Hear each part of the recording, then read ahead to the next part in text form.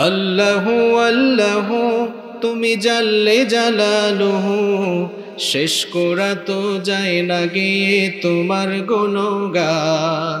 আল্লাহু আল্লাহু, তুমি জাল্লে জালালুহু, শেষ করা তো যায় না গিয়ে তোমার গুণগান। আল্লাহু আল্লাহু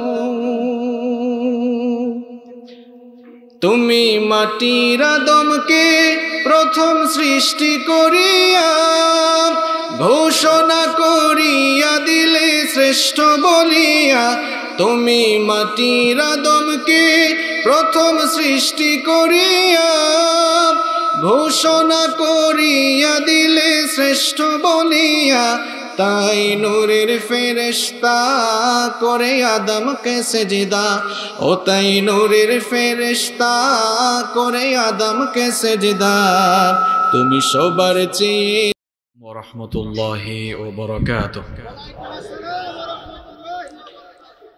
إن الحمد لله الذي بنعمته تتم الصالحات الذي علم القرآن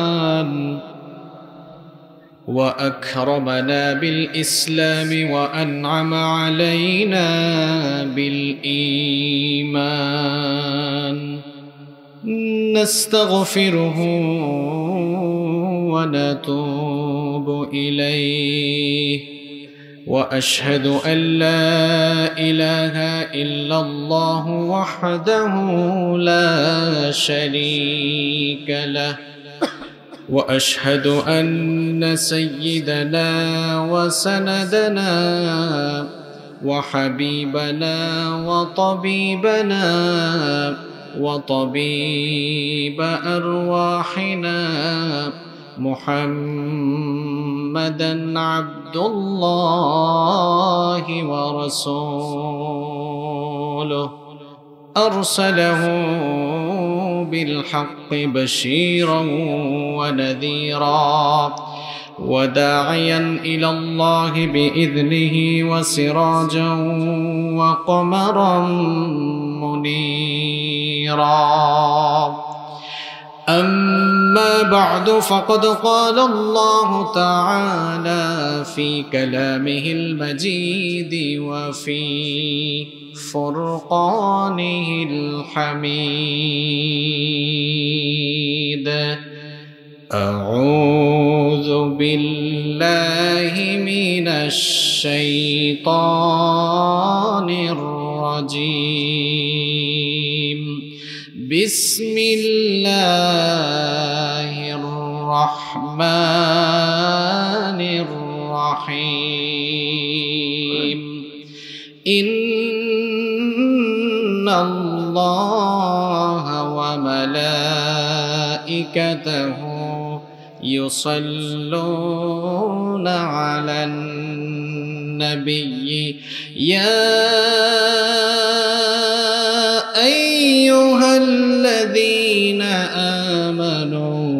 صلوا عليه وسلموا تسليما.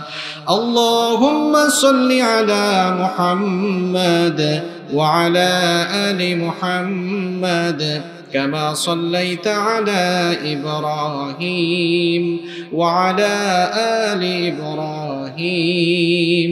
إنك حميد مجيد.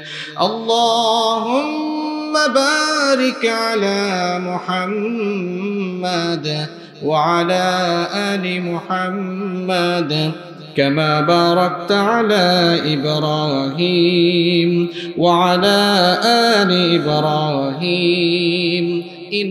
إنك حميد مجيد. ربي زدني علما.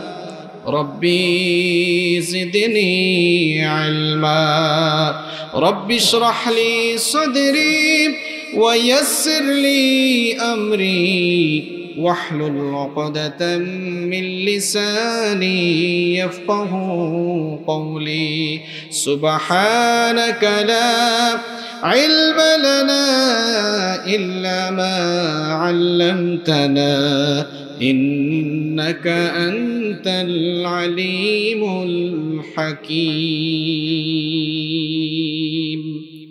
صدق الله العظيم. আল্লাহ আল্লাহ, তুমি জাল্লে জালালুহ, শেষ করা তো যায় না গিয়ে তোমার গুণগান। আল্লাহ আল্লাহ, তুমি জাল্লে জালালুহ, শেষ করা তো যায় না গিয়ে তোমার গুণগান। আল্লাহ আল্লাহ তুমি মাটির আদমকে প্রথম সৃষ্টি করিয়া ঘোষণা করিয়া দিলে শ্রেষ্ঠ বলিয়া, তুমি মাটির আদমকে প্রথম সৃষ্টি করিয়া ঘোষণা করিয়া দিলে শ্রেষ্ঠ বলিয়া তাই নূরের ফেরেশতা করে আদমকে সেজদা।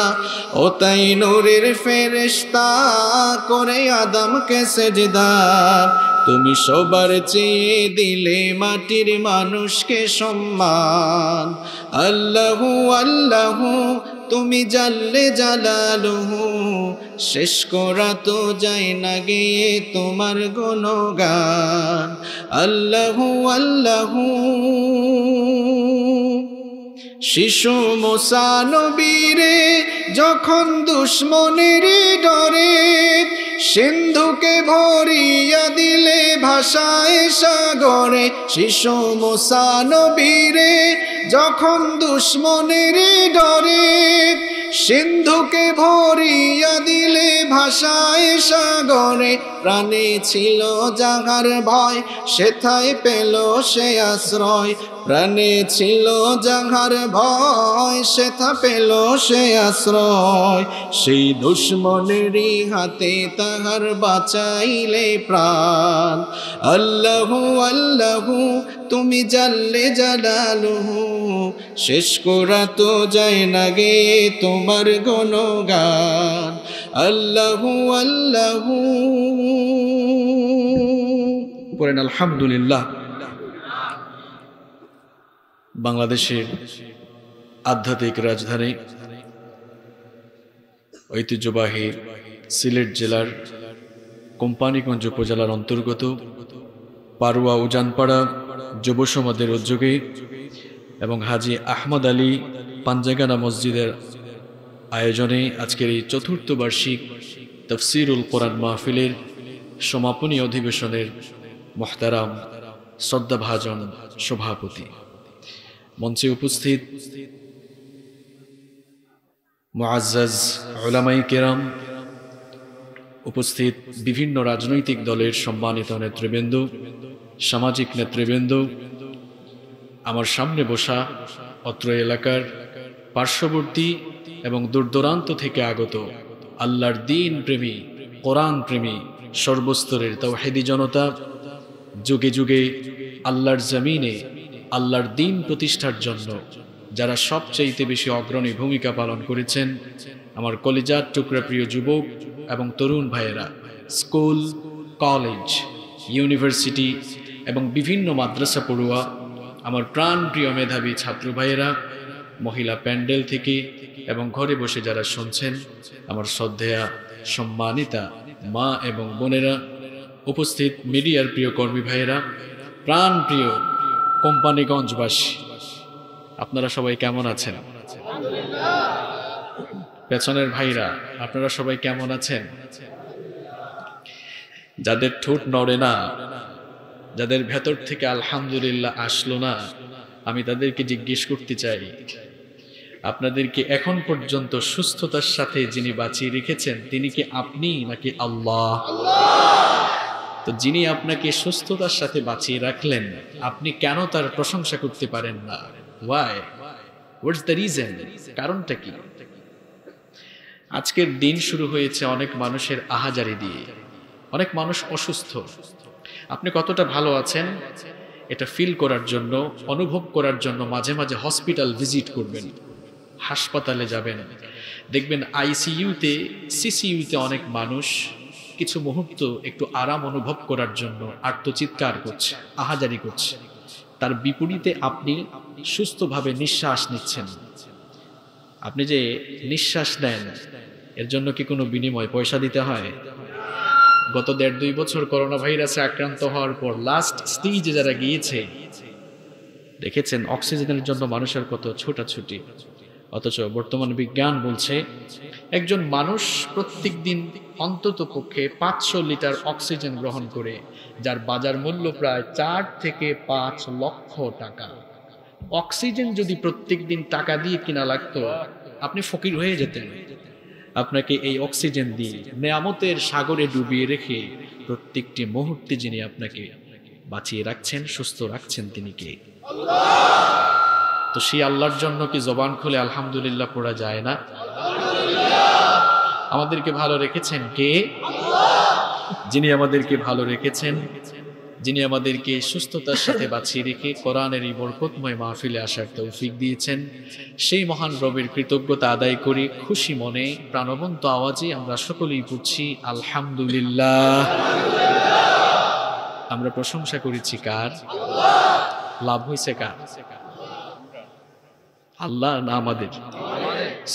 আল্লাহ কেমন এক রব আমরা পেয়েছি। আমরা ওনার প্রশংসা করি, লাভটা ওনার না, আমাদেরই লাভ হয়। বিনিময়ে আমাদের আমল নামায় নাকি দিয়ে দেন? কে?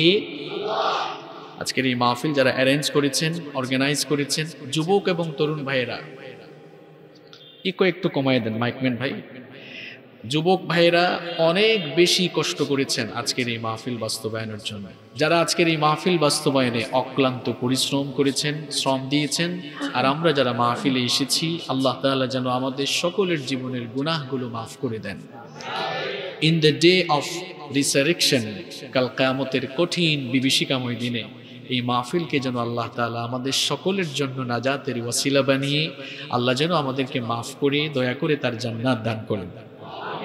আরও আসতে বলেন, আমিন। আল্লাহর দয়া আপনারা চান কি চান না? বলেন তো দেখি কোম্পানিগঞ্জের ভাইয়েরা, বাবারা, আল্লাহর দয়া ছাড়া কেমতের দিন নাজাত পাওয়া যাবে? শুধুমাত্র আমল দিয়ে কেমতের দিন কোনো মানুষ জান্নাতে ঢুকতে পারবে না। আমল দিয়ে জান্নাতে ঢোকা যাবে না, যদি আমলের সাথে আল্লাহর রহম, আল্লাহর দয়া না থাকে।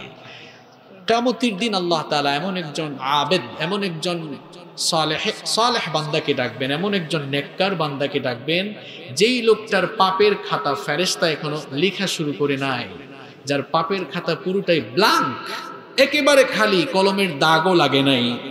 এমন একজন নেককার বান্দাকে আল্লাহ তাআলা ডেকে বলবেন, উদখুলিল জান্নাতা বিরহমাতি go to the paradise with my mercy Allah Taala বলবেন, আমার দয়ায় তুমি আমার জান্নাতে ঢোকো, আমার জান্নাতে দাখিল হও।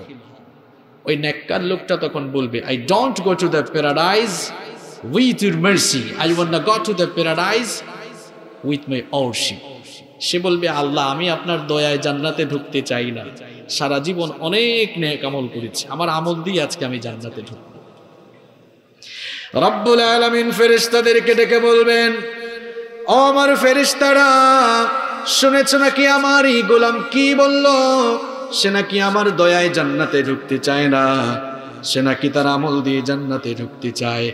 আমিও দেখতে চাই, আমার এই বান্দার নেক আমলের পরিমাণ বেশি, নাকি আমার বান্দার উপরে আমার প্রদত্ত দয়ার পরিমাণ বেশি? আল্লাহ তালা ফেরেশতাকে ডেকে বলবেন, ও আমার ফেরেশতারা, আমার এই গোলাম, আমার এই বান্দা তার জন্ম থেকে নিয়ে অফাত পর্যন্ত গোটা জীবন ভর যত নেক আমল করেছে, সারা জীবন যত ভালো কাজ করেছে, আমার বান্দার সারা জীবনের নেক আমলগুলোকে মিজানের এক পাল্লায় রাখো। আর আমি আমার বান্দার প্রতি অসংখ্য দয়া করেছি। আমার আপনার প্রতি রব্বুল আলামিন কত নেয়ামত দিয়েছেন কত দয়া আমাদেরকে আল্লাহ করেছেন।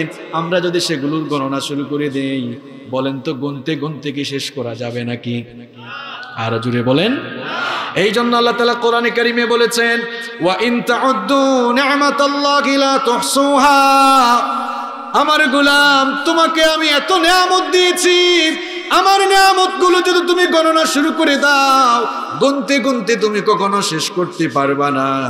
বিজ্ঞান এখন অনেক উন্নত হয়েছে, অনেক সমৃদ্ধ আর বিকশিত হয়েছে। বিজ্ঞানের উৎকর্ষ সাধনের ফলে বিজ্ঞান এখন পৃথিবী থেকে সূর্যের ডিস্টেন্স কত, সেই ডিস্টেন্স মেপে আমাদেরকে জানিয়েছে। দুনিয়া থেকে সূর্যের দূরত্ব হলো নয় কোটি তিরিশ লক্ষ মাইল। বিজ্ঞান উন্নত হওয়ার কারণে এই ডিস্টেন্স আমাদেরকে জানিয়ে দিয়েছে। আবার পৃথিবীর বড় বড় মহাসাগরগুলো, প্রশান্ত মহাসাগর, আটলান্টিক মহাসাগর, এইরকম মহাসাগরগুলো বঙ্গোপসাগর সহ নদ নদী সহ অনেক কিছুর আয়তন বিজ্ঞানের উৎকর্ষ সাধনের ফলে আমরা জানতে পেরেছি। কিন্তু আমার বাবারা, আমার ভাইরা, আপনারা বলেন তো, বিজ্ঞান উন্নত হতে হতে কামত পর্যন্ত যতই উন্নত হোক না কেন, আমার আপনার সাড়ে তিন হাত বডির ভেতরে আল্লাহ কত নিয়ামত দিয়েছেন। বাকি নিয়ামতের কথা বাদ দিলাম, এগুলো গুনে গুনে কি কখনো শেষ করা যাবে নাকি? এই জন্য কোরআনে কারিমি আল্লাহ বলেছেন, লা গুনে গুনে কোনোদিন শেষ করতে পারবা না।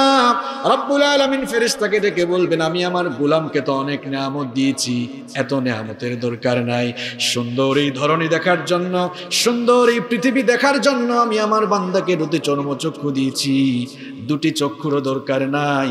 একটা চক্ষু নামক দয়াকে মিজানের আরেক পাল্লায় রাখো। ফেরেশতারা যখন ওই বান্দা গোটা জীবনের নেক আমলগুলোকে মিজানের এক পাল্লায় রাখবে, আর আরেক পাল্লায় যখন আল্লাহর দেওয়া একটা চক্ষু নামক দয়াকে রাখবে। দেখা যাবে বান্দার সারা জীবনের নেকামলের চাইতে আল্লাহর দেওয়া একটা চক্ষু নামক দয়ার পাল্লা ভারী হয়ে যাবে। ফেরেস্তাদার ভুল বান্দা তার ভুল বুঝতে পারবে। বান্দা তার ভুল ভুল বুঝতে পেরে বলবে, ওগো আল্লাহ, ওগো আমার রব, বুঝতে পেরেছি আমি। আজ আমি কেবলমাত্র আমার আমল দিয়ে জান্নাতে ঢুকতে পারব না। যদি তুমি আমার উপরে আসান না করো, রহম না করো দয়া করে তুমি আমায় মাফ করো, আর তোমার আম- তোমার জান্নাত আমায় দান করো। রব্বুল আলামিন ফেরেস্তাকে ডেকে বলবেন, আমার ফেরেশতা তাকিয়ে দেখ, এতক্ষণ পর আমার এই বান্দা লাইনে এসেছে, এতক্ষণ পর সে বুঝতে পেরেছে, আমার দয়া ছাড়া সে বাঁচতে পারবে না। আল্লাহ তালা বলবেন, আমার গোলাম, আয় আয়, আমি তোকে, আমার দয়া দিয়ে মাফ করে দিয়ে, আমার দয়ায় আমার জান্নাত তোকে দান করে দিলাম। আর কিছু যে চাই না আমি, চাই গো নাজাত। আল্লাহ তোমার কাছে আমার এই মোনাজাত। আল্লাহ তোমার কাছে আমাদের এই মোনাজাত। পরে না আমিন? আল্লাহর দয়ার দরকার আছে? কি মনে করেন? কেমতের দিন আল্লাহ হিসাব নিলেই এত সহজে পার পাওয়া যাবে? নবীজি কি বলেছেন?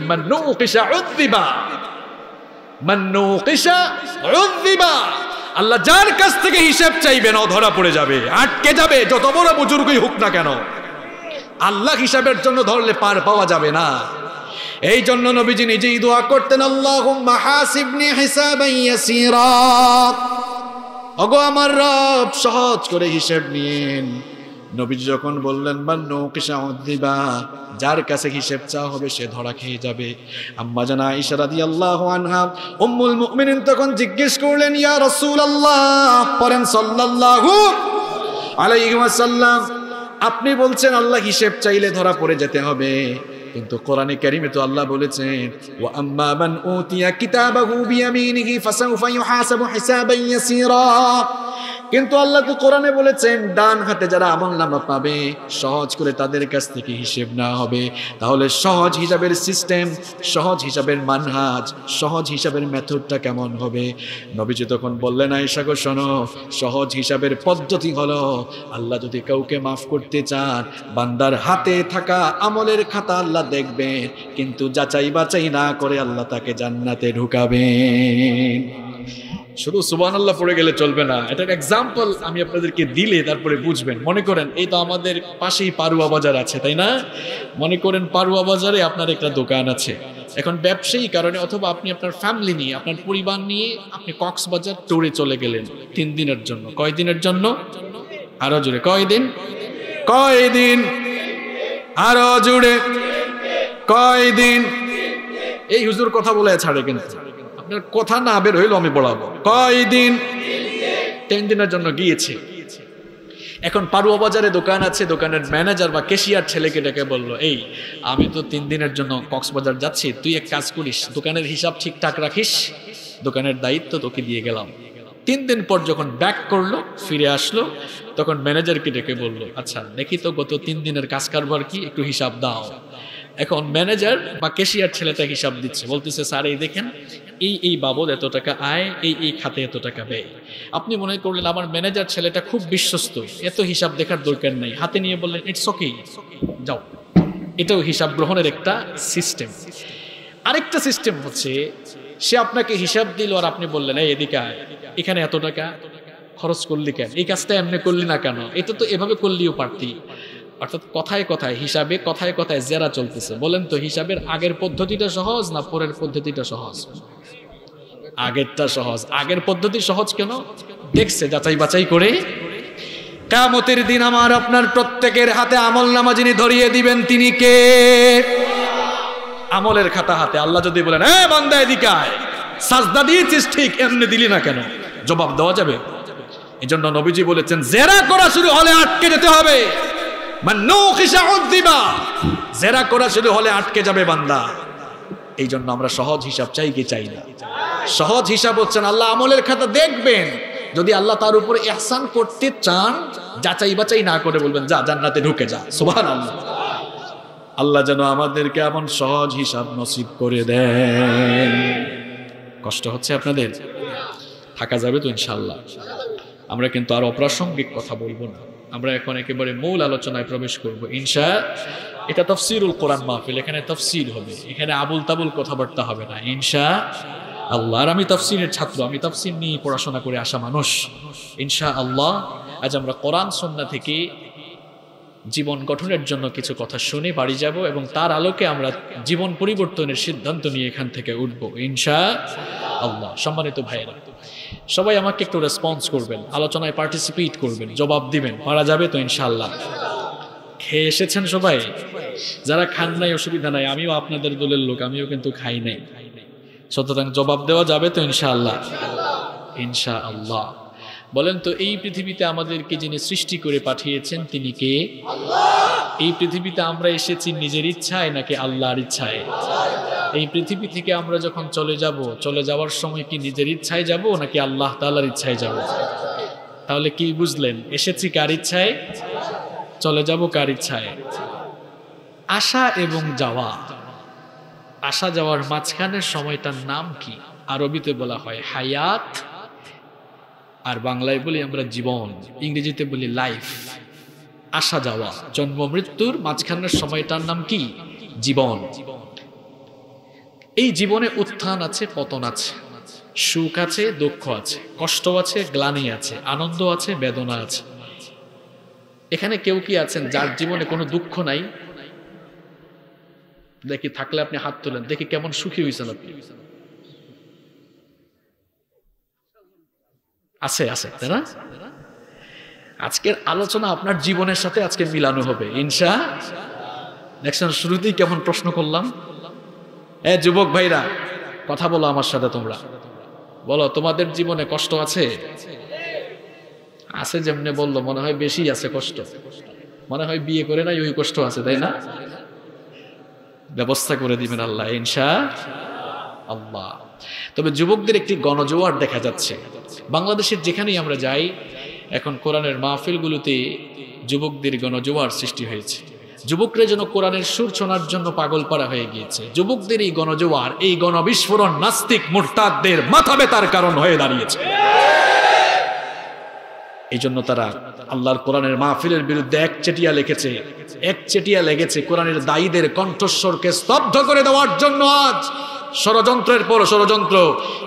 কিন্তু আমরা বলতে চাই, আল্লাহর দিনের আওয়াজকে স্তব্ধ করে দেওয়ার জন্য ইতিপূর্বে কোরআন বিরোধীরা, ইসলাম বিরোধীরা নানা রকম ষড়যন্ত্র চক্রান্ত করেও আল্লাহর কোরআনের আওয়াজকে থামাতে পারে নাই। সুতরাং এই যুগ সহ ভবিষ্যতে কামত পর্যন্ত যারাই কোরআন বিরোধী, দিন বিরোধী হয়ে কোরআনের আওয়াজ থামিয়ে দিতে চাইবে, তারা নিজেরাই থেমে গিয়ে ধ্বংসের আস্থা করে নিক্ষিপ্ত হবে। আল্লাহর কোরআনের আওয়াজকে কেউ থামিয়ে দিতে পারবে? আমরা কোরআনের পক্ষে থাকব তো ইনশাআল্লাহ। আল্লাহ কবুল করেন। আমি জিজ্ঞেস করেছিলাম আপনাদেরকে, হায়াত মৌতের মাঝখানের সময়টার নাম জীবন। এই জীবনে দুঃখ আছে, কষ্ট আছে, গ্লানি আছে, ব্যথা আছে, বিপদ আছে। বিপদ মুসিবতে পড়েন না, এমন মানুষ এখানে আছেন। কথা বলেন, আছেন? এবার প্রশ্ন হলো যে হুজুর, এই কথা আমাদেরকে আপনি আলোচনার শুরুতে কেন জিজ্ঞেস করেছেন? এর কারণ হলো, এই যে আমরা কষ্টে পড়ি মাঝে মাঝে কঠিন রোগে আক্রান্ত হই। এত রোগ, সিলেট আর ঢাকায় দৌড়াদৌড়ি। এরপরে মাঝে মাঝে দেখা যায় ভালো মানুষ ইমানদার পাঁচ ওয়াক্তের নামাজে তার উপরেও মুসিবত আসে, নাকি নাই? দেখা যায় আল্লাহওয়ালা মানুষ, অনেক আলেমুল আমার উপরেও নির্যাতন নিপীড়ন অনেকে বলে দেখছ লোকটা মনে তোলে তোলে কিছু করেছে। এই যে আপনার নেগেটিভ ধারণা কুধারণা এই যে আলেমের উপরেও জালেমের গজব। ভালো মানুষের উপরেও জালেমের গজব। সুস্থ মানুষের উপরে অসুস্থতা, ফসলের ক্ষয়ক্ষতি। অনেক সময় দুর্ভিক্ষ, বন্যায় ফসল ভাসিয়ে নিয়ে যায় না?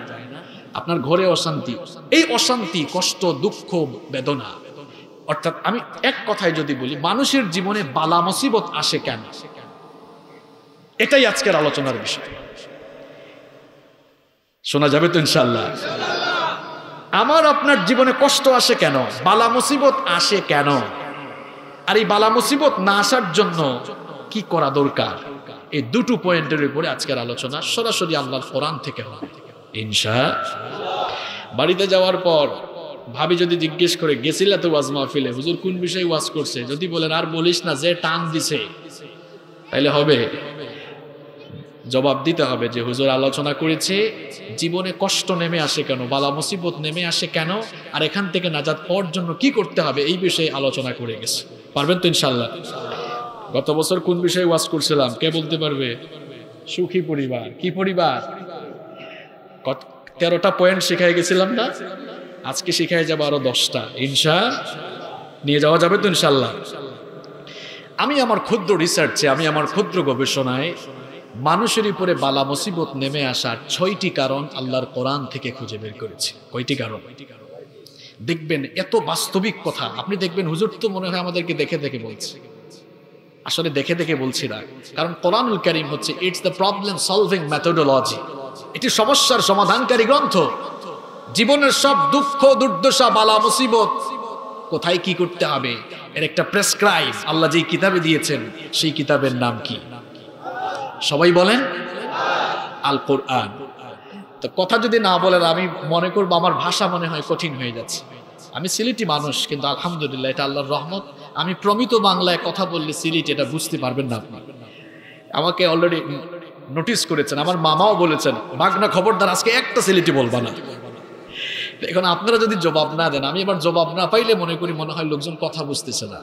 ইতা করলে কিন্তু শুরু করে দেব। যাই হোক, সম্মানিত ভাইয়েরা, তাহলে মানুষের উপরে বালা মুসিবত আসার কারণ কয়টা? আরও জুড়ে কয়টা? জুড়ে বলেন। এখন কিন্তু শুরু হয়ে গেছে নাম্বার ওয়ান এক নাম্বার হচ্ছে, মাঝে মাঝে আল্লাহ মানুষের উপরে বিপদ দেন, বালা মুসিবত দেন, কষ্ট দুঃখ দেন। মাঝে মাঝে আসমান জমিনের বালা মুসিবত নেমে আসে মানুষের উপরে। এক নাম্বার কারণ হলো এর মাধ্যমে আল্লাহ বান্দাকে সতর্ক করতে চান। বান্দা যেন গুনাহের সাগরে গা ভাসিয়ে না দেয়, বান্দা যেন আল্লাহর অবাধ্যতায় নিজেকে লিপ্ত করে না দেয়, বান্দা যেন আল্লাহর আজাব গজব আল্লাহর পক্ষ থেকে আসা কষ্ট দুঃখ দেখে, সে যেন আল্লাহর দিকে ফিরে আসে এই জন্য মাঝে মাঝে আমার আপনার জীবনে দুঃখ কষ্ট দেন কি?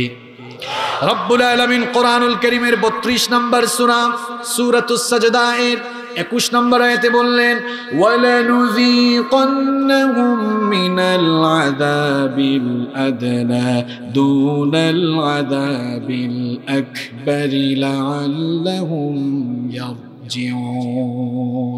আল্লাহ তাআলা বলছেন, অবশ্যই আমি তো, অবশ্যই আমি তাদেরকে গুরুতর শাস্তি আস্বাদন করানোর আগে লঘু শাস্তি আস্বাদন করাবো। অর্থাৎ সহজ বাংলায় হলো কেয়ামতের আজাব দেওয়ার আগে বান্দারা যেন আজাবের ভয়ে ফিরে আসে এই জন্য দুনিয়ায় মাঝে মাঝে তাদেরকে কষ্টে ফেলবেন কে? লাল্লাহুম জেহন যেন বান্দা আমার দিকেই ফিরে আসে। আবার কোরআনুল করিমের নয় নম্বর সূরা সুরাত উত্তম এর একশত ছাব্বিশ নম্বর এতে আল্লাহ তালা আরো সুন্দর করে বললেন أولا يرون أنهم يفتنون في كل عام مرة أو مرتين ثم لا يتوبون ولا هم يذكرون আল্লাহ তালা বলছেন তারা কি দেখে না বছরে দুইবার কিংবা একবার তাদের উপরে আমি গজব পাঠাই যাতে করে তাওবা করে আমার বান্দাগুলো ভালো হয়ে যায়। আমি জানি না সিলেটে দুই দিন আগে ভূমিকম্প হয়েছে কিনা ফজরের টাইমে হয়েছে হয়েছে এখানে? আমি তখন চিটাংয়ে ছিলাম। ফজরের নামাজ পড়ার জন্য উঠলাম, দেখি গোটা বাসা কাঁপতেছে, থর থর করে কাঁপতেছে। এই যে ভূমিকম্প, এই ভূমিকম্প যিনি পাঠান তিনি কে? সিলেট টাউনে দশতলা বাড়ি বানিয়েছেন, ঢাকা শহরে টাওয়ার বানিয়েছেন। আল্লাহ যদি চান, ভূমিকম্পের মাধ্যমে এটা ধ্বংস করে দিতে মনে হয় আল্লাহর কয়েকদিন সময় লাগবে। এই যে ভূমিকম্প আসে, ঘূর্ণিঝড় হয়, সাইক্লোন হয়, টর্নেডো, আইলা, লাইলা, নার্গিস, সব মেয়েদের নাম দেখছেন অবস্থা? বুলবুল ফনি কত কিছু এসেছে? সব কার পক্ষ থেকে আসে? সব আল্লাহর তরফ থেকে আসে। এই আজাব গজবগুলো আল্লাহ মাঝে মাঝে পাঠান, যেন বান্দার ভেতরে আল্লাহর ভয় জাগ্রত হয়। আল্লাহর দিকে ফিরে আসে। দেখেন, দুই দিন আগে যখন ফজরের নামাজের সময় ঘূর্ণিঝড় হয়েছিল, ভূমিকম্প হয়েছিল, এই ভূমিকম্পের সময় অনেক মানুষ বিছানায় ঘুমিয়েছিল, নামাজ পড়ে নাই, আছে না নাই? এ যুবক আর তরুণ ভাইয়েরা, কোন ধুকায় পড়ে রইলে তোমরা? এই যে দুই দিন আগে তুমি ফজরের নামাজের সময় ঘুমেছিলে, ভূমিকম্প হলো। তোমার মতো কত যুবক তো তখন আল্লাহর জন্য নামাজে দাঁড়িয়েছিল। তুমি কেন নামাজটা বাদ দিয়ে বিছানায় শুয়েছিলে? ওই অবস্থায় তোমার মৌত হতে পারতো কিনা? কথা বলে না। ওই অবস্থায় মৌত হতে পারতো কিনা? যুবকরা মনে মনে ভাবতেছে কোম্পানিগঞ্জের যুবকরা ভাবতেছে, হুজুর, আমরা ইয়াং মানুষ, যুবক মানুষ, এখন আমরা মরবো না। ভাইরে, মরার সিদ্ধান্ত তোমার কাছে নয়। মরার সিদ্ধান্ত যার কাছে, তিনি কে? ও আন্নাহু হুয়া আমাতা তিনি জন্মদানকারী, তিনি মৃত্যুদানকারী। তুমি হয়তো ভাবতেছ, তুমি বুড়া হবা, এটা শয়তানের পজিটিভ ধোকা। শয়তান বলতেছে, বুড়া হওয়া তারপরে নামাজ পড়িস। দেখো না, তোমার মতো কত যুবক হঠাৎ করে মারা গিয়েছে। পৃথিবীতে আসার জন্য সিরিয়াল মেনটেন হয়, কিন্তু যাওয়ার সময় মাঝে মাঝে সিরিয়াল ব্রেক হয় আসে না নাই? আসার সময় সিরিয়াল মেনটেন হয়। প্রথমে আসে দাদা, তারপরে বাবা, এরপরে ছেলে, তারপরে দাদার ঘরে নাতি হয়। এই রকম দুনিয়াতে আসার জন্য সিরিয়াল লাগে, কিন্তু যাওয়ার বেলা কোনো সিরিয়াল হয়। মাঝে মাঝে দেখা যায় নাতির লাশ দাদা কবরে নামায় আসে না নাই? ছেলের লাশ বাবা কবরে নামায়, এরকম হয় কি হয় না? চোখের পলকে আমরা কিন্তু দুনিয়া ছেড়ে যেতে পারি। কারণ আমাদের মৌত জীবন আমাদের হাতে না কার হাতে? চোখের পলকে তুমি হতে পারো লাশ। চিরতরে বন্ধ হবে তোমারই নিঃশ্বাস। কষ্ট হচ্ছে? চোখের পলকে তুমি হতে পারো লাশ। চিরতরে বন্ধ হবে তোমারই নিঃশ্বাস। হবে এলাম তোমারই নাম মসজিদের মাইকে। বাড়িওয়ালা নাই রে, বাড়ি নাই রে দুনিয়াতে। বাড়িওয়ালা নাই রে, বাড়ি নাই রে দুনিয়াতে। বাড়িওয়ালা নাই রে, বাড়ি নাই রে দুনিয়াতে। বাড়িওয়ালা নাই রে, বাড়ি নাই রে দুনিয়াতে। বাড়ি আছে, কিন্তু কত বাড়িওয়ালা নাই। ঠিক না বে ঠিক? বলেন, কত বাড়ি আছে যে বাড়িওয়ালাকে জিজ্ঞেস করলে বাড়িওয়ালা বলতো, এই তো এটা আমার বাড়ি। আপনি তাকে বলতেন, কি ব্যাপার, আপনার বাড়ি কোথায়? বলতো, এই যে এটা আমার বাড়ি। বাড়ি বাড়ি করেছে। ওই পারুয়ার কবরস্থানের সাড়ে তিন হাত মাটির ভেতরই তার জায়গা আছে ঠিক কি না? বাড়ি থাকবে, বাড়িওয়ালা থাকবে না, গাড়িও থাকবে, গাড়িওয়ালা থাকবে। তোমার ভয়ে থাকতো মানুষ ছিল বাহাদুরি। ভাবনি হাওয়ায় ওরা তুমি যে রঙিন ঘড়ি। তোমার ভয়ে থাকতো মানুষ ছিল বাহাদুরি। ভাবনি হাওয়ায় ওরা তুমি যে রঙিন ঘড়ি। সুতুই টান দিলে মালিক। সুতুই টান দিলে মালিক পারবে না থাকিতে। বাড়িওয়ালা নাই রে, বাড়ি নাই রে দুনিয়াতে। বাড়িওয়ালা নাই রে, বাড়ি নাই রে দুনিয়াতে। বাড়িওয়ালা নাই রে, বাড়ি নাই রে দুনিয়াতে। বাড়িওয়ালা নাই রে, বাড়ি নাই রে দুনিয়াতে। কেউ থাকবে? Every soul will take the test of that প্রত্যেক প্রাণসত্তাকে এই মৃত্যুর স্বাদ আস্বাদন করতে হবে। আর আমার যুবক ভাইয়েরা, সিরিয়ালের অপেক্ষা করা যাবে না। কারণ হচ্ছে there is no serial of that মৃত্যুর কোনো সিরিয়াল? এই যে মাঝে মাঝে আল্লাহ ভূমিকম্প দেন, যেন আমার যুবক ভাইগুলোর অন্তরের মধ্যে, কলিজার মধ্যে আল্লাহর ভয় জাগ্রত হয়। মাঝে মাঝে আল্লাহ বিপদে, মুসিবতে ফেলেন। আবার সুস্থ মানুষকে অসুস্থতা দেন কে? সুস্থ আছেন, তারপরেও নামাজে যেতে মন চায় না। অনেক মানুষ সুস্থ থাকার পরেও নামাজে যায় না। বলেন তো, আমার দেশে ফজরের নামাজে মানুষ হয় বেশি নাকি জানাজান নামাজে মানুষ হয় বেশি? আরও জুড়ে বলেন। এখন কাহিনী অবস্থা দেখলে মনে হয় ফজরের নামাজ নফল, আর জানাজান নামাজ ফরজে আইন। তার ঘর থেকে পঞ্চাশ হাত, একশো হাত দূরে ফজরের নামাজে উঠে যাইতে পারে না। কিন্তু জানাজান নামাজে অ্যাটেন্ড করার জন্য ঢাকা থেকে সিলেটে চলে আসে। আছে না নাই? তার মতলবটা কোন জায়গায়? মতলব আপনি বুঝছেন নাই। মতলব হলো ফজরের নামাজের আগে বক্তব্য দেওয়ার সুযোগ নাই জানাজান নামাজের আগে বক্তব্য দেওয়ার সুযোগ আছে। এই স্কুল কলেজের ভাইরা, ইউনিভার্সিটিতে যারা পড়ো তোমাদেরকে বলছি তুমি সকাল সাতটায়, আটটায় ঘুম থেকে ওঠার জন্য তুমি তোমার ফোনে অ্যালার্ম সেট করো। যারা ব্যবসা করেন, চাকরি করেন, অফিসে যাওয়ার জন্য সাতটায়, আটটায় মোবাইল ফোনে অ্যালার্ম সেট করেন। আবার বউকে ডেকে বলে, বউ গো, ডেকে দিও আমারে আটটায়। হাসিয়েন না। এবার শোনেন, স্কুল, কলেজ, ইউনিভার্সিটিতে যাওয়ার জন্য, অফিসে, ব্যবসায় যাওয়ার জন্য, কারণ না গেলে টাইম মতো বসে রেহাই দিবে না। বসের ভয় আছে। আপনি স্কুল, কলেজ, অফিসে দোকান টাইম মতো খোলার জন্য অ্যালার্ম সেট করতে পারেন। কোন শয়তান আপনাকে ঢুকায় ফেলে রাখল? ভোর পাঁচটায় উঠার জন্য পাঁচটার অ্যালার্ম আপনি সেট করতে পারেন না? ঠিক তো কইলেন, কামটাই তো আপনারা, কামটা তো আপনারাই করেন। ভুল বলেছি আমি? আপনি সাতটায় আটটায় উঠার জন্য অ্যালার্ম দিতে পারেন, শয়তান কীভাবে চেপে ধরলো আপনাকে? আপনি পাঁচটায় অ্যালার্ম দিতে পারেন না। যুবক ভাইরা, খবরদার, সাবধান হয়ে যাও। দিন শুরু করব আল্লাহকে সাজদা দিয়ে, ঠিক কি না? সবার আগে আমার রবকে সাজদা দিয়ে আমি আমার দিন শুরু করব। তাহলে গোটা দিনে আমার জিম্মাদার যিনি হয়ে যাবেন, তিনি কে? নামাজ যারা পড়েন আল্লাহর জিম্মাদারি তার উপর থেকে উঠে যায়। নামাজে যারা সামিল হয় না, তাদের উপর থেকে আল্লাহর জিম্মাদারি উঠে যায়। বলেন তো, মুয়াজ্জিন সাহেব প্রত্যেক দিন নামাজে আসার জন্য আজান দেয় কয়বার? আরও জুড়ে কয়বার? আরও জুড়ে এবার সবাই জবাব দেন, আজানের প্রথম বাক্যটা, লা ইলাহা ইল্লাল্লাহ নাকি আল্লাহু আকবার আল্লাহু আকবার? মাশাআল্লাহ। এবার দেখেন, আজানের প্রথম বাক্যটা তো লা ইলাহা ইল্লাল্লাহ হতে পারতো পারতো কিনা? পারতো কিনা? আল্লাহ চাইলে সিস্টেমটা এমনি করতে পারতেন না যে শোনো, আজানের প্রথম বাক্য হবে লা ইলাহা আল্লাহ বললেন, না, প্রথম বাক্য হবে আল্লাহ আকবার, আল্লাহ। এর একটা সিগনিফিকেন্স আছে। এর একটা আহমিয়ত আছে, একটা গুরুত্ব আছে, তাৎপর্য আছে। তাৎপর্যটা কোথায়? আল্লাহ আকবার, এটা তো আরবি শব্দ, এর বাংলা অর্থ হলো আল্লাহ সব চাইতে ছোট না আল্লাহ সব চাইতে বড়।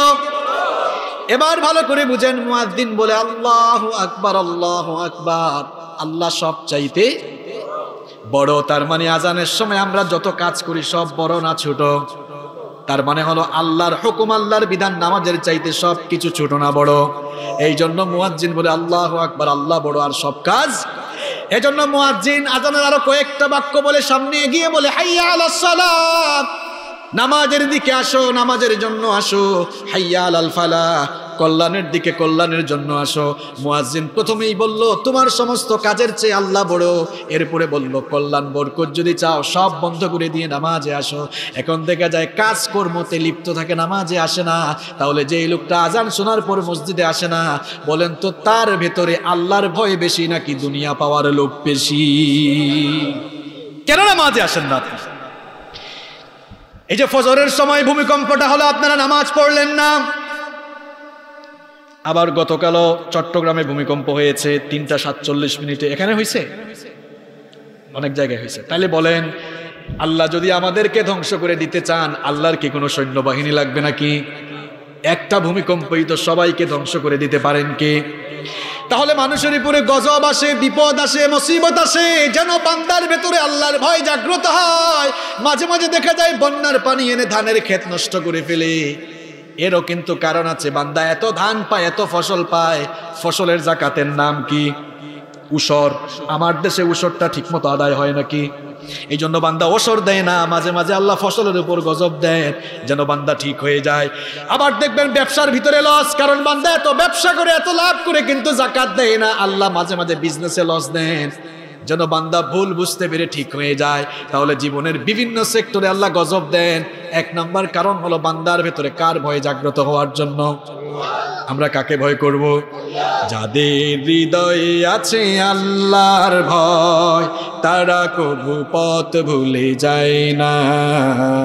আল্লাহর প্রেম ছাড়াই দুনিয়ায় কারও কাছে কোনো কিছু চায় না।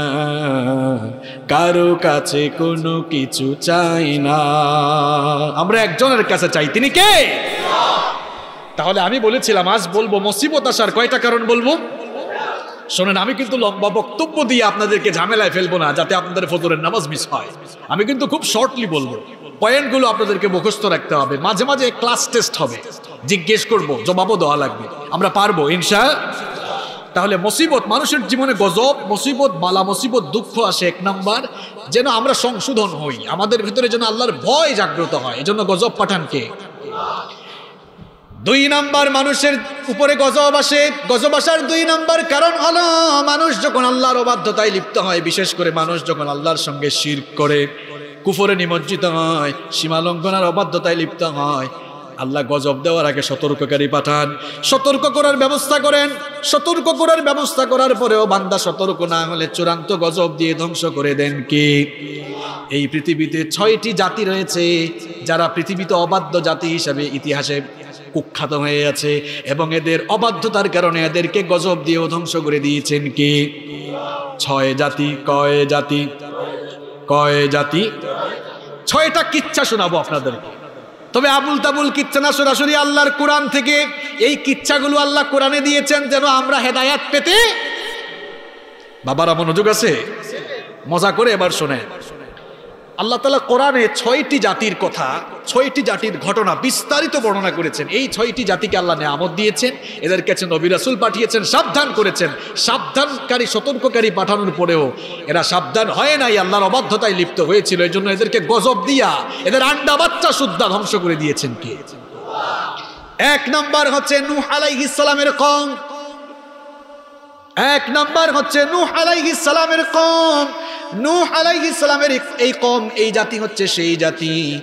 পৃথিবীর ইতিহাসে সর্বপ্রথম কবর পূজা শুরু হয়েছিল নূহ আলাইহিস সালামের জাতিতে। আজও কবর পূজা, মাজার পূজা আছে না নাই? কি আজীব মানুষ। আরে ভাই, আপনার কি কমন সেন্স নাই? কবরের সামনে গিয়ে কবরে শুয়ে থাকে, আবার কবরও বলে না, মাজার বলে। কোরআনের কোনো জায়গায় হুজুর মাজার আছে নাকি? মাজার আছে? দেখেন আমাকে, হাদিসের কোন জায়গায় মাজার আছে নাকি? আল্লাহ কবরের কথা কোরআনে বলেছেন, আটবার, কয়বার? আমাদের পরিচিত সুরাই তো আছে কুবুর? কুবুর শব্দ আছে না নাই? অন্য সুরায় রয়েছে কোথাও তো আল্লাহ বলেন নাই, মাজার বা মাজারা। আল্লাহ বলেছেন, মাকবারা, মাকাবির, কবুর। এই শব্দগুলো দিয়েছেন কে? আল্লাহর চেয়ে আপনি বেশি বুঝেন। নবীজিও তো বললেন মানজারা কবরি। বলেন নাই মানজারা মাজারি। শব্দটার ভেতরে ভেজাল এই জন্য মাজারের ভেতরে ভেজাল আছে না নাই? কিছুদিন আগে আমি বাগেরহাট মাহফিলে গেলাম, সেখানে একজন আল্লাহর অলি আছে, খান জাহান আলী রহমতুল্লাহ আলাই আসে না নাই? ভাবলাম, আল্লাহর অলির মাজারের পাশ দিয়ে যাচ্ছি, একটু সালাম দিয়ে যাই। কবর জিয়ারতের জন্য গেলাম। ঢুকে দেখি পুরুষ মহিলারা মুরগি নিয়ে আসতেছে, কি নিয়ে? আরও জুড়ে আরেকজন দেখলাম মাইকিং করে বলতেছে, মুরুগ আর হাঁস দ্বারা নিয়ে আসছেন, এই দিকে ঢুকেন, এই দিকে এই দিকে। আমি জিজ্ঞেস করলাম একজনকে, আমার সাথে সফর সঙ্গী যে ছিল? বললাম, ভাই, তার বাড়ি খুলনায়। বললাম, ভাই খানজাহান আলী রহমতুল্লাহ আলাই, তিনি কি রাতের বেলা উঠে কবর থেকে এই হাঁস মুরগিগুলো সব নিয়ে যান নাকি? কয়, হুজুর, না। বললাম, এগুলো কই যাইতেলে কয় যে খাদেম আছে, সব খাদেমের পেটের ভিতরে আমাদের শাহজালাল রহমতুল্লাহ আলাই, তিনি এসে সিলেটবাসীকে মুসলমান বানিয়েছেন। আমরা আল্লাহর অলিদেরকে মহব্বত করি কম না বেশি। হক্কানি অলি, হক্কানি উলিয়া যারা রয়েছেন, তাদেরকে আমরা কলিজা দিয়ে ভালোবাসি। কিন্তু পিরাকির নাম করে, ভণ্ডামি করে মাজার স্থাপন করে যারা মানুষের ইমান আকিদাকে নষ্ট করছে, তাদের সাথে আমাদের কোনো সম্পর্ক এই যে শাহজালালের মাজারের মধ্যে এত বড় বড় ডেক, টাকায় ভর্তি হয়ে যায় রাতের বেলা আল্লাহর আলী শাহজালাল রহমতুল্লাহ আলাই এসে বলেন, দাও ডেকগুলা সব আমারে দাও। কথা বলেন, সব সিন্ডিকেট হয়ে ভাগ বাটোয়ারা। এই জন্য স্কলারগণ বলেছেন, মাজারের মধ্যে টাকা দেওয়া, পয়সা দেওয়া শিরক শিরক এবং শিরক। সৌদি আরবে কয় হাজার মাজার আছে? আমি তো আলহামদুলিল্লাহ একাধিকবার গিয়েছি, আপনারা অনেকে গিয়েছেন, কয় হাজার মাজার আছে? সেখানে কি মাজারে টাকা পয়সা হাঁস মুরুগ দেয় নাকি? আরে ভাই, মাজারে হাঁস, মুরুগার টাকা পয়সা দেওয়া যায় হলে নবীজির কবরের রওজা শরীফের উপরে হাঁস, মুরুগ আর সোনাদানার স্তূপ হতে হতে রওজা শরীফই দেখা যাইত না ঠিক কি না? যদি মাজারের মধ্যে, কবরের মধ্যে টাকা দেওয়া, পয়সা দেওয়া মান্নত করা জায়েজ হতো, পৃথিবীর মুসলমানরা টাকা পয়সা না বুকটা ছিঁড়ে কলিজাটা বের করে নবীজির রওজা শরীফে দিয়ে আসতো। ঠিক কি না? ঠিক তো বললেন, মাজারে কোনোদিন টাকা দিবেন নাকি? তবে আল্লাহর অলি যারা ছিলেন, তাদেরকে আমরা ভালোবাসবো, তাদের কবরের পাশ দিয়ে গেলে জিয়ারত করব, কোনো অসুবিধা কিন্তু বন্ডামি করা যাবে? আমি বলছিলাম, পৃথিবীতে সর্বপ্রথম কবর পূজা শুরু করেছিল নূহ আলাইহিস সালামের বংশের মানুষ। এই ইতিহাসটা আপনারা অনেকে জানেন না, শোনেন। আদাম আলাইহিস সালাম, উনার সময়ে সমস্ত মানুষ তাওহীদবাদী ছিল। এজন্য আল্লাহ কোরআনে বলেছেন, কানান নাসু উম্মাতান ওয়াহিদা। সবাই একই তাওহীদের পতাকা তুলে আবদ্ধ ছিল। নূহ আলাইহিস সালামের আগমনের পূর্বে এবং আদম আলাইহিস সালামের ওফাতের পরে মাঝখানে দশ জেনারেশন পৃথিবীতে ছিল। কয় জেনারেশন জেনারেশন মানে প্রজন্ম আর কি। দশ প্রজন্ম। সিরি ও তো হয়ে গেছে সিরি, দশ সিরি আর কি, দশ সিরি মানুষ। এই দশ দশ প্রজন্ম, এদের ভেতরেই শির্ক শুরু হলো কীভাবে দেখেন? নূহ আলাইহিস সালামের কৌমের মধ্যে পাঁচজন আল্লাহওয়ালা মানুষ ছিল। কিচ্ছাটা শুনেন রে বাবা, এদিকে তাকান। কয়জন আল্লাহওয়ালা মানুষ? আমি কিন্তু বানায় বলতেছি না, সুরা নূহ এর ভেতরে আছে ওয়াদ, সুয়া, ইয়াগুস, ইয়াউক, নাসার। হাফেজ সাহেব ঠিক আছে না? আছে। আয়াতটা একটু পরে বলব আমি। এই পাঁচজন, কয়জন? কয়জন? আল্লাহওয়ালা মানুষ। এরা যখন দুনিয়া থেকে চলে গেল শয়তান এবার পজিটিভলি পরের সিরি অর্থাৎ পরের প্রজন্মের লোকদেরকে বলল, এরা তো তোমাদের মধ্যে নেককার, আল্লাহওয়ালা মানুষ ছিলেন, আল্লাহর সঙ্গে এদের সম্পর্ক বেশি ছিল। সুতরাং এরা তো চলে গিয়েছে, তোমাদের মধ্যে নবীও নাই। তোমরা এদের কবরের কাছে গিয়ে এদের কাছে চাও, তাইলে তোমাদের চাওয়াগুলো এরা আল্লাহর কাছে পৌঁছাই দিবে। অর্থাৎ মাঝখানে এটা মিডিয়া হিসাবে কাজ করে। আহারে, আল্লাহর ক্ষমতা কি এতটুকু নাই যে আপনি সরাসরি ডাক দিলে আল্লাহ কি শুনবেন না? কথা বলেন না কেন وإذا سألك عبادي عني فإني قريب أجيب دعوة الداعي إذا دعان فليستجيبوا لي وليؤمنوا بي لعلهم يرشدون আল্লাহ পাক বলছেন নবী বলেন এরা যখন আমাকে ডাক দেয় তাদেরকে বলেন আমি বান্দার কাছে আছি আল্লাহ আকবার আপনি ডাক দিলে আল্লাহ কি শুনবেন না? মাঝখানে মিডিয়ার দরকার আছে নাকি? শয়তান বলল, এদের কাছে চাও। এখনও দেখবেন বিভিন্ন মাজারের মধ্যে মানুষ গিয়ে সাজদা দেয়, আছে না নাই? সাজদা দিতে হবে কেবল একজনকে, তিনি কে? কোন পীর সাহেবকে সাজদা দেওয়া যাবে না। যে পীর সাজদা নেয়, বুঝতে হবে এটা পীর না, এটা হচ্ছে শয়তানের একেবারে আপন খালাতো ভাই। সে পীর হলে অলি হলে কেন সাজদা নিবে? শাহজালাল রহমতুল্লাহ আলাই কখনো কি মানুষের কাছ থেকে সাজদা নিয়েছেন নাকি? আমরা শাহজালালের ইতিহাস পড়াশোনা শেষ করে আসা মানুষ। বরং তিনি আল্লাহর দিনের দাওয়াত দিয়েছেন, গৌর গোবিন্দের বিরুদ্ধে জিহাদ করে সিলেটবাসী মানুষকে মুসলমান বানিয়েছেন। তাহলে কোনো পীরকে সাজদা দেওয়া যাবে? এখন এরা সাজদা শুরু করল। শয়তান এদেরকে ধোকা দিয়া, পরের সিঁড়ি, পরের প্রজন্মকে কবর পূজারি বানালো। এবার শুরু হলো মূর্তি পূজা। এই সিঁড়ি অর্থাৎ এই প্রজন্মের মানুষ দুনিয়া থেকে চলে গেল। পরের প্রজন্মের মানুষকে শয়তান বলল, তোমাদের বংশের মধ্যে তো পাঁচজন মানুষ, বড় আল্লাহওয়ালা ছিল। এদেরকে তো মানুষ আস্তে আস্তে ভুলে যাচ্ছে। মানুষ যেন এদেরকে মনে রাখে, এদের মূর্তি বানাও। কি বানাও? আরও জোরে? এবার শয়তানের এই ধোকা শুনে এই প্রজন্মের লোকেরা পাঁচজনের নামে মূর্তি বানালো। শয়তান বলল, এবার রাস্তাঘাটে অলিতে গলিতে এদের মূর্তি টানায় দাও। এদেরকে দেখলেই মানুষ এদেরকে স্মরণ করে এদের মতো ইবাদত গুজারি হওয়ার চেষ্টা পজিটিভ না নেগেটিভ ধোকা? এটা পজিটিভ ধোকা। খালি বানাইলো এরা, কিন্তু পূজা টুজা করল। যারা বানালো, এরা চলে গেল। পরের প্রজন্মকে শয়তান ধোকা দিল। দেখো, এই মূর্তিগুলো তোমাদের পূর্বপুরুষরা যারা বানিয়েছে, শুধু বানায় নাই, বরং এদেরকেই উপাস্য হিসাবে গ্রহণ করে তারা মাহবুদ হিসাবে গ্রহণ করে পূজা করেছে। নাউদুবিল্লাহিমিন তাহলে পৃথিবীতে মূর্তি পূজা এসেছে পরে কবর পূজা এসেছে। আগে মনে থাকবে? মনোযোগ আছে না গেছে? এই মুশরিক জাতির জন্য রব্বুল আলামিন নূহ আলাইহিস সালামকে নবুয়ত দিয়ে পাঠালেন। নূহ আলাইহিস সালাম এসে দাওয়াত দিলেন। সবার আগে নেতারা বাধা দিল। নূহ আলাইহিস সালামের কওমের নেতারা বাধা দিল। আজও দেখবেন আল্লাহর দিনের দায়ীদের কণ্ঠকে স্তব্ধ করে দেওয়ার জন্য খেতা মার্কা নেতারা বাধা দেয়। এগুলো নতুন কোনো বিষয় না। আপনি আল্লাহর কোরআন পড়েন, তাহলে বুঝতে পারবেন। যত যুগেই নবীরা নবুয়তের দাওয়াত নিয়ে এসেছেন, সবার আগে এই খেতামার কানে তারা বাধা দিয়েছে। কিন্তু এই খেতামাতা খেতামার কানে তারা বাধা দিয়ে কেউ টিকতে পারে? কেউ টিকতে পারবেও আল্লাহর দিনের আলোকে কেউ নিভাই দিতে পারবে? নূহ আলাইহিস সালাম যখন দাওয়াত দিলেন, নেতারা তখন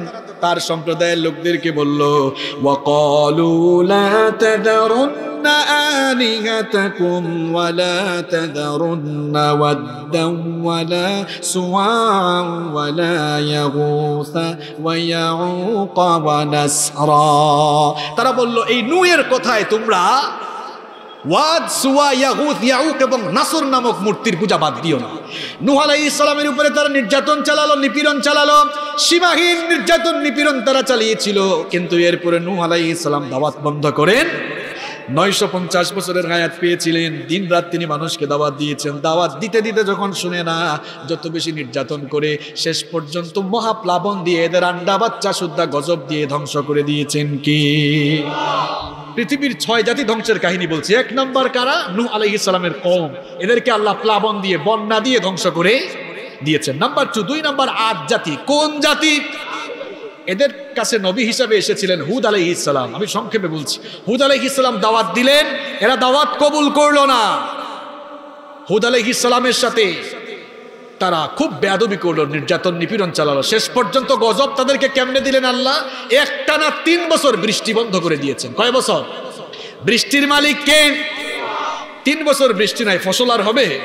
ফসল হয় নাই। দুর্ভিক্ষে পরে তারা আল্লাহর কাছে বৃষ্টি চাইল আল্লাহ মেঘের টুকরা পাঠালেন। মনে করেছিল তারা এখান থেকে মনে হয় বৃষ্টি হবে, কিন্তু না, সেখান থেকে বজ্র নিনাদ আসলো আর নিচ থেকে জমিনের নাড়াচাড়াও শুরু হলো। এদেরকে এভাবে গজব দিয়ে ধ্বংস করে দিলেন কে? তিন নম্বর জাতি হচ্ছে তামুদ জাতি। এই তামুদ জাতির কাছে আল্লাহ সালেহ আলহ ইসলামকে নবী বানিয়ে পাঠিয়েছিলেন। তারা সালেহ আলহ ইসলামকে বলেছিল, সালেহ, তুমি যে নবী হইছো, আমরা তো এটা বিশ্বাস করি না। বিশ্বাস করব এই পাহাড় ফেটে সেখান থেকে যদি একটা দশ মাসের গর্ভবতী উটনি বের হয়, তাহলে বিশ্বাস করব তুমি সত্য নবী। শুনতেছেন আপনারা? পাহাড় ফেটে সেখান থেকে কয় মাসের উটনি বের হওয়া লাগবে? দশ মাস। হ্যাঁ দশ মাসের গর্ভবতী উটনি। এখন আল্লাহ তালা সালেহ আলাইহ ইসলামকে জানালেন, নবী, আপনি এদেরকে আগে ওয়াদা নেন যে এই ঘটনা তারা যদি নিজের চোখে দেখে ইমান আনবে কিনা।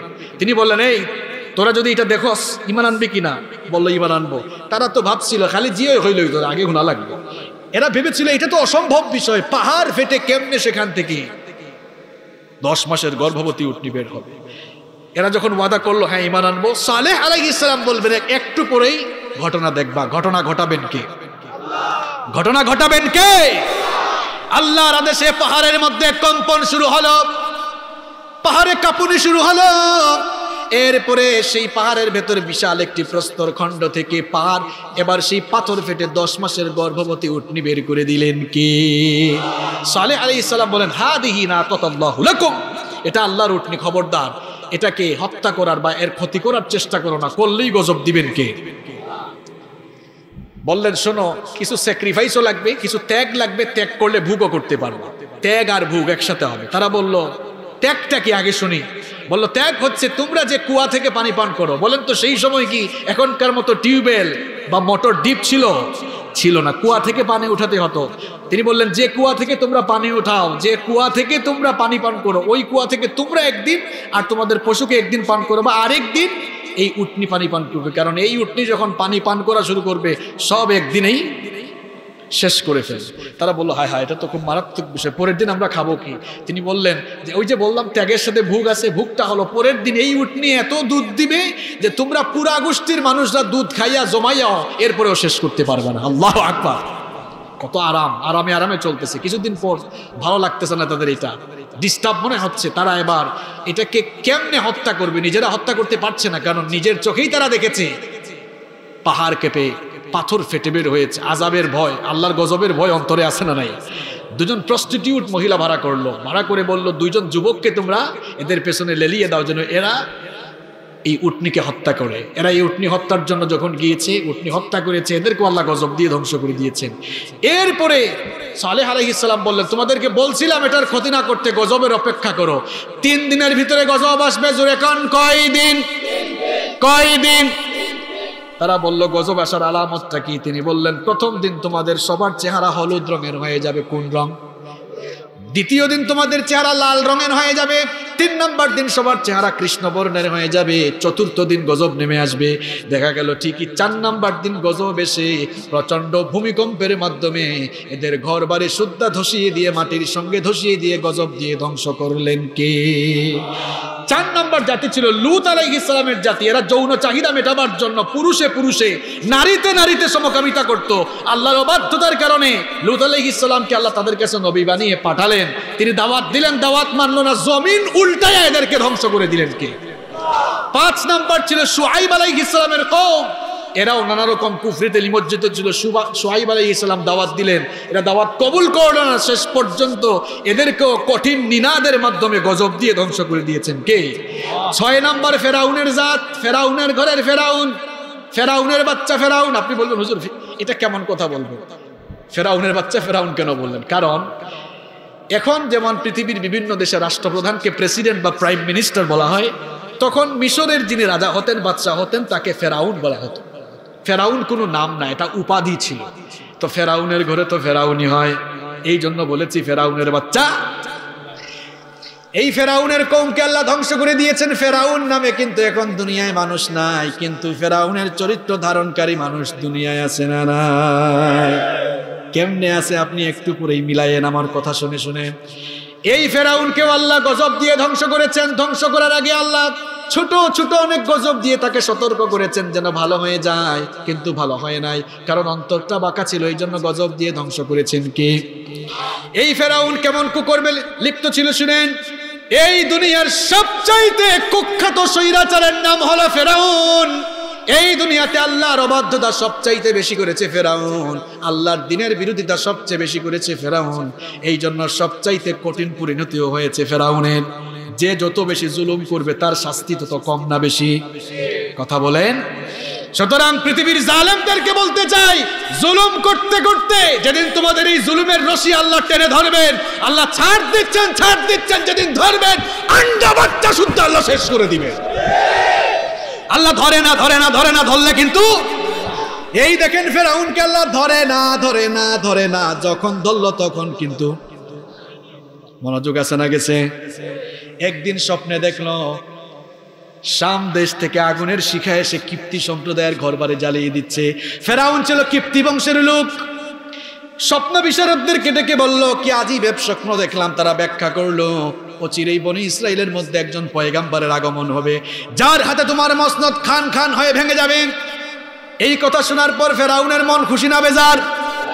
ফেরাউন তার সৈন্যদেরকে অর্ডার দিল, এখন থেকে বনি ইসরায়েলের ঘরে যেই মহিলার পেট থেকে শিশু সন্তান হিসেবে ছেলে বের হবে জন্ম নেওয়ার সঙ্গে সঙ্গে জবাই করে হত্যা করবে।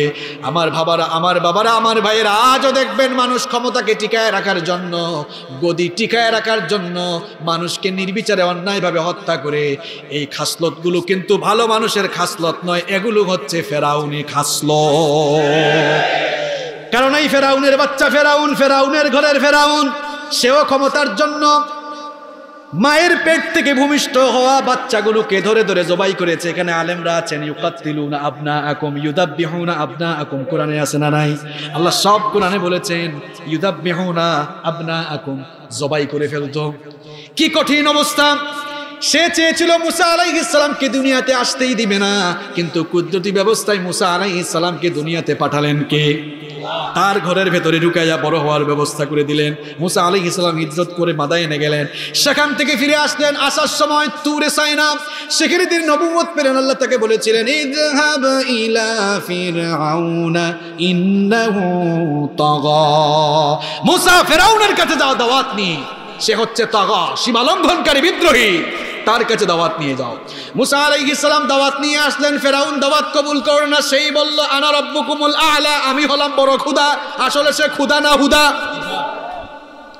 সে বলল, তুমি আবার কোন খুদার দাওয়াত আমার নির্বাচনী এলাকায় দাও? আমি নিজেই তো হলাম খুদা ফাকালা, আনা রব্বুকুমুল, সে খুদা না হুদা? মুসা আলাইহিস সালাম দাওয়াত দিলেন, দাওয়াত কবুল করল না। মুসা আলাইহিস সালামের বংশের লোকদের উপরে কঠিন নিপীড়ন চালালো। যারা ইমান আনত, তাদেরকে তেল গরম করে তেলের ডেস্কির ভেতরে ফেলে দিত, অবর্ণনীয় জুলুম নির্যাতন চালাতো ইমানদারদেরকে ধরে ধরে জবাই করে হত্যা করে ফেলতো। এই রকম জুলুম নির্যাতন করছে মুসা আলাইহিস সালাম সবর করছেন কার জন্য? বিভিন্ন তফসিরের কিতাবে এসেছে, একাধারে তিনি এভাবে সবর করে করে বিশ বছর দাওয়াত দিয়েছেন।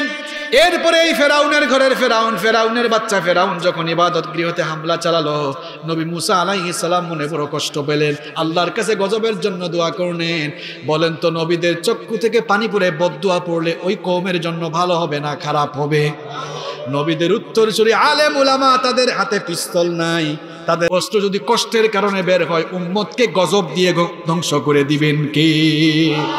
এ ভাই, যে যে দল করো তোমার দল তুমি করো, খবরদার। আলেমদের বিরুদ্ধে কথা বলতে এসো না।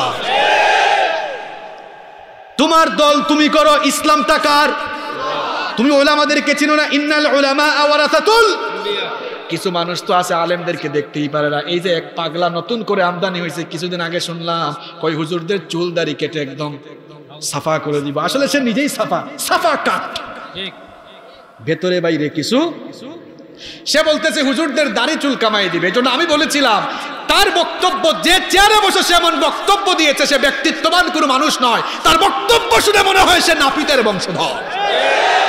নাপিতের দায়িত্ব নিয়েছ নাকি তো তোমার মতো কত টাকলু পাকলু, কত লাফালাফি করেছে, সুযোগ মতো আল্লাহ গজব দিয়ে একেবারে শেষ করে।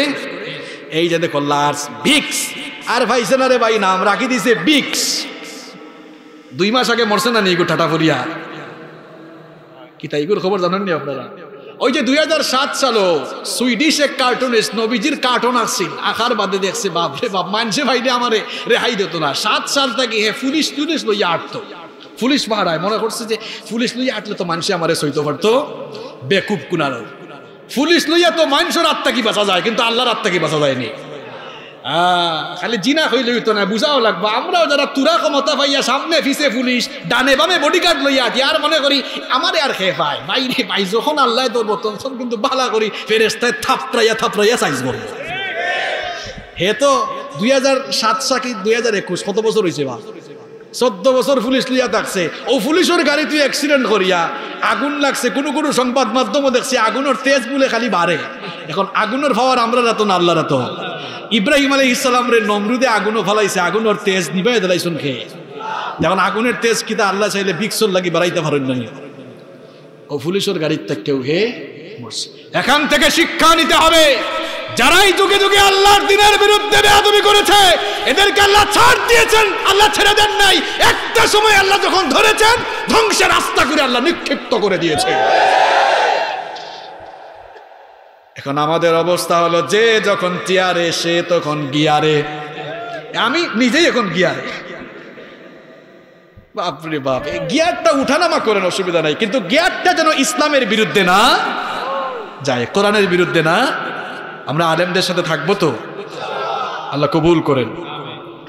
এই ফেরাউন যখন এবাদত গৃহতে হামলা চালাচ্ছে, মুসা আলাইহ ইসলাম দোয়া করলেন, ঘটনা কিতা মনে আছে না বলিলছেন মুসা আলাইহ ইসলাম গজবের জন্য দোয়া করলেন। এবার আল্লাহ তাআলা ফেরাউনকে ধ্বংসের আগে সাতটা ছোট ছোট গজব পাঠালেন। কয়টা? আরও জুড়ে কয়টা? এক নম্বর গজব দুর্ভিক্ষ। এমন দুর্ভিক্ষ আসলো, ফসলের খাতে সব ফসল নষ্ট হয়ে গেল। ফেরাউন বুঝলো, এটা তো মুসার কারবার, মুসার রব এটা করেছেন। ডেকে আনলো, বলল, মুসা, ভালো হয়ে গেছি। তোমার রবকে বলো, আর আমরা দুষ্টামি করব? বলো, গজব উঠায় নিতে, গজব উঠায় নিলেন কে? গজব যখন ওঠানো হলো, দেখা গেল, যেই লাউ সেই আবার এরা অবাধ্যতায় লিপ্ত হলো। দুই নাম্বার গজব আল্লাহ দিলেন। এবার তাদের উপরে দুই নাম্বার গজব নেমে আসলো। আল্লাহ ফ্লাড দিলেন, বন্যা দিলেন। বন্যার পানি দিয়ে আবার আল্লাহ ফসল নষ্ট করে দিলেন। আবার মুসা নবীর কাছে এসে বলল, মুসা, আল্লাহর কাছে তাড়াতাড়ি দোয়া করো, আমরা কিন্তু এবার ভালো হয়ে আল্লাহ গজব উঠায় নিলেন, আবারও ফসলের ক্ষেত্রে ফসল হয়ে গেল। সবুজের সমারোহে চতুর্দিক ভরে উঠল। আবারও এরা অবাধ্যতায় লিপ্ত হলো। আল্লাহ তালা তিন নম্বর গজব পাঠালেন, পঙ্গপাল, কিসের পাল? পঙ্গপাল সব এসে ফসলগুলারে খাইয়া সব একদম শেষ, সোফা। এবার বলল, মুসা, যা করার এতদিন করছি। বলো, আল্লাহর এবার চূড়ান্ত ভালো হয়ে যাব, আর বেইমানি করব? দেখা গেল, আল্লাহ গজব উঠালেন যে লাউ সেই। কেমন টাটকা শয়তান ছিল এগুলা দেখেন। আল্লাহ কত আস্তে আস্তে এদেরকে গজব দিয়েছেন, দেখেন। আল্লাহ অনেক ছাড় দিয়েছেন। চার নাম্বার গজব আল্লাহ দিলেন, উকুনের গজব। কিসের গজব? উকুন কিতাব মাতার জেনে হয় তার কি? অতাউ আনাবুজ্জামাত লইব না তাছে। এখন আরম্ভ হয়েছে শরীর গতরের মাঝে উকুনের খামরানি। এখন খালি ওটা করে কেনা করে। হয় মুসা সকাল আল্লাহর কাছে দোয়া করো। অবস্থা? মুসা আলাইহিস সালাম দোয়া করলেন, গজব উঠায় নিলেন কে? আবারও এরা অবাধ্যতায় লিপ্ত হলো, ছয় নম্বর গজব আসলো। এবার পাঁচ নম্বর গজব আসলো, ব্যাঙের গজব, কিসের গজব? যেখানে বসে সেখানেই ব্যাং পানির গ্লাস হাতে নেয়, গ্লাসের ভিতরে ব্যাং তরি তরকারির পাত্রের ভিতরে ব্যাং রাতের বেলা ঘুমায়, উপরে ব্যাঙের স্তূপ হয়ে যায়। এবার তারা গিয়ে বলল, মুসা, ব্যাঙের যন্ত্রণায় বাঁচি না, দোয়া করো কার কাছে? তিনি যেন গজব উঠায় নেন আমরা ভালো হয়ে যাব। আল্লাহ গজব উঠালেন, এরপরও ভালো হলো না এরা। আল্লাহর সঙ্গে শিরকে নিমজ্জিত রইল। আল্লাহ চূড়ান্ত গজব দিলেন না। ছয় নাম্বার আরেকটি ছোট গজব পাঠালেন। এবার আল্লাহ তাদেরকে রক্তের গজব দিলেন। কিসের গজব? গ্লাসে নিয়েছে পানি। পানি হয়ে যায় রক্ত, খাবার হয়ে যায় রক্ত, নীল নদে রক্ত। চতুর্দিকে গিয়ে বলল, মুসা, এবার ভালো হব, আল্লাহকে বলো গজবটা উঠাতে। আল্লাহ, গজব উঠালেন, ভালো হলো না। এবার সাত নম্বর গজব দিলেন আল্লাহ, মহামারীর গজব। কিসের গজব? প্লেগ মহামারী দিলেন। হাজার হাজার মানুষ মারা গেল। ফেরাউনের বাচ্চা, ফেরাউনের জানের ভয় আছে না নাই? দেখবেন ইসলামের বিরোধিতা এখন অনেকে করে। যখন গজব শুরু হয় টুপি টাপি লাগাইয়া তারপরে তসবি জপা শুরু করে। তখন কিন্তু হুজুর চিনে আর গজব চলে গেলে হুজুর হয়ে যায় খেজুর। আছে না নাই? প্লেগ মহামারী দিলেন। এবার মুসা বলল, এবার মুসা আলাইহিস সালামকে ফেরাউন বলল, ফেরাউন ফেরাউন বলল, ভালো হয়ে যাব। বলল, আল্লাহকে গজব উঠাতে। আল্লাহ এবারও সুযোগ দিলেন। এরপরে নির্যাতনের আরও বেশি বাড়িয়ে দিল। মুসা আলাইহিস সালাম বললেন ওগো আল্লাহ, এই অত্যাচারী ফেরাউন থেকে আমাদেরকে নাজাত দাও। আল্লাহ তালা বললেন, ওগো আমার নবী মুসা, তুমি তোমার উম্মতদেরকে নিয়ে রাতের বেলা মিশর থেকে চলে যাও। মিশর ছেড়ে হিজরত করো। মুসা আলাইহিস সালাম তার উম্মতদেরকে নিয়ে মিশর ছেড়ে হিজরত করছেন কার হুকুমে? এই খবর চলে গেল ফেরাউনের কাছে। ফেরাউন এই খবর শুনেই তার সৈন্যদেরকে বলল, এখনও অপেক্ষা করছ কেন? সবাই তরবারি নিয়ে, সবাই প্রস্তুত হয়ে যুদ্ধের জন্য সবাই বের হয়ে যাও। আজ কিন্তু মুসা এবং তার উম্মদদের খবর আছে। সবাই বের হলো। ওইদিকে মুসা আলাইহিস ইসলাম উম্মদদেরকে নিয়ে পথ চলতে চলতে লোহিত সাগরের সামনে গেলেন।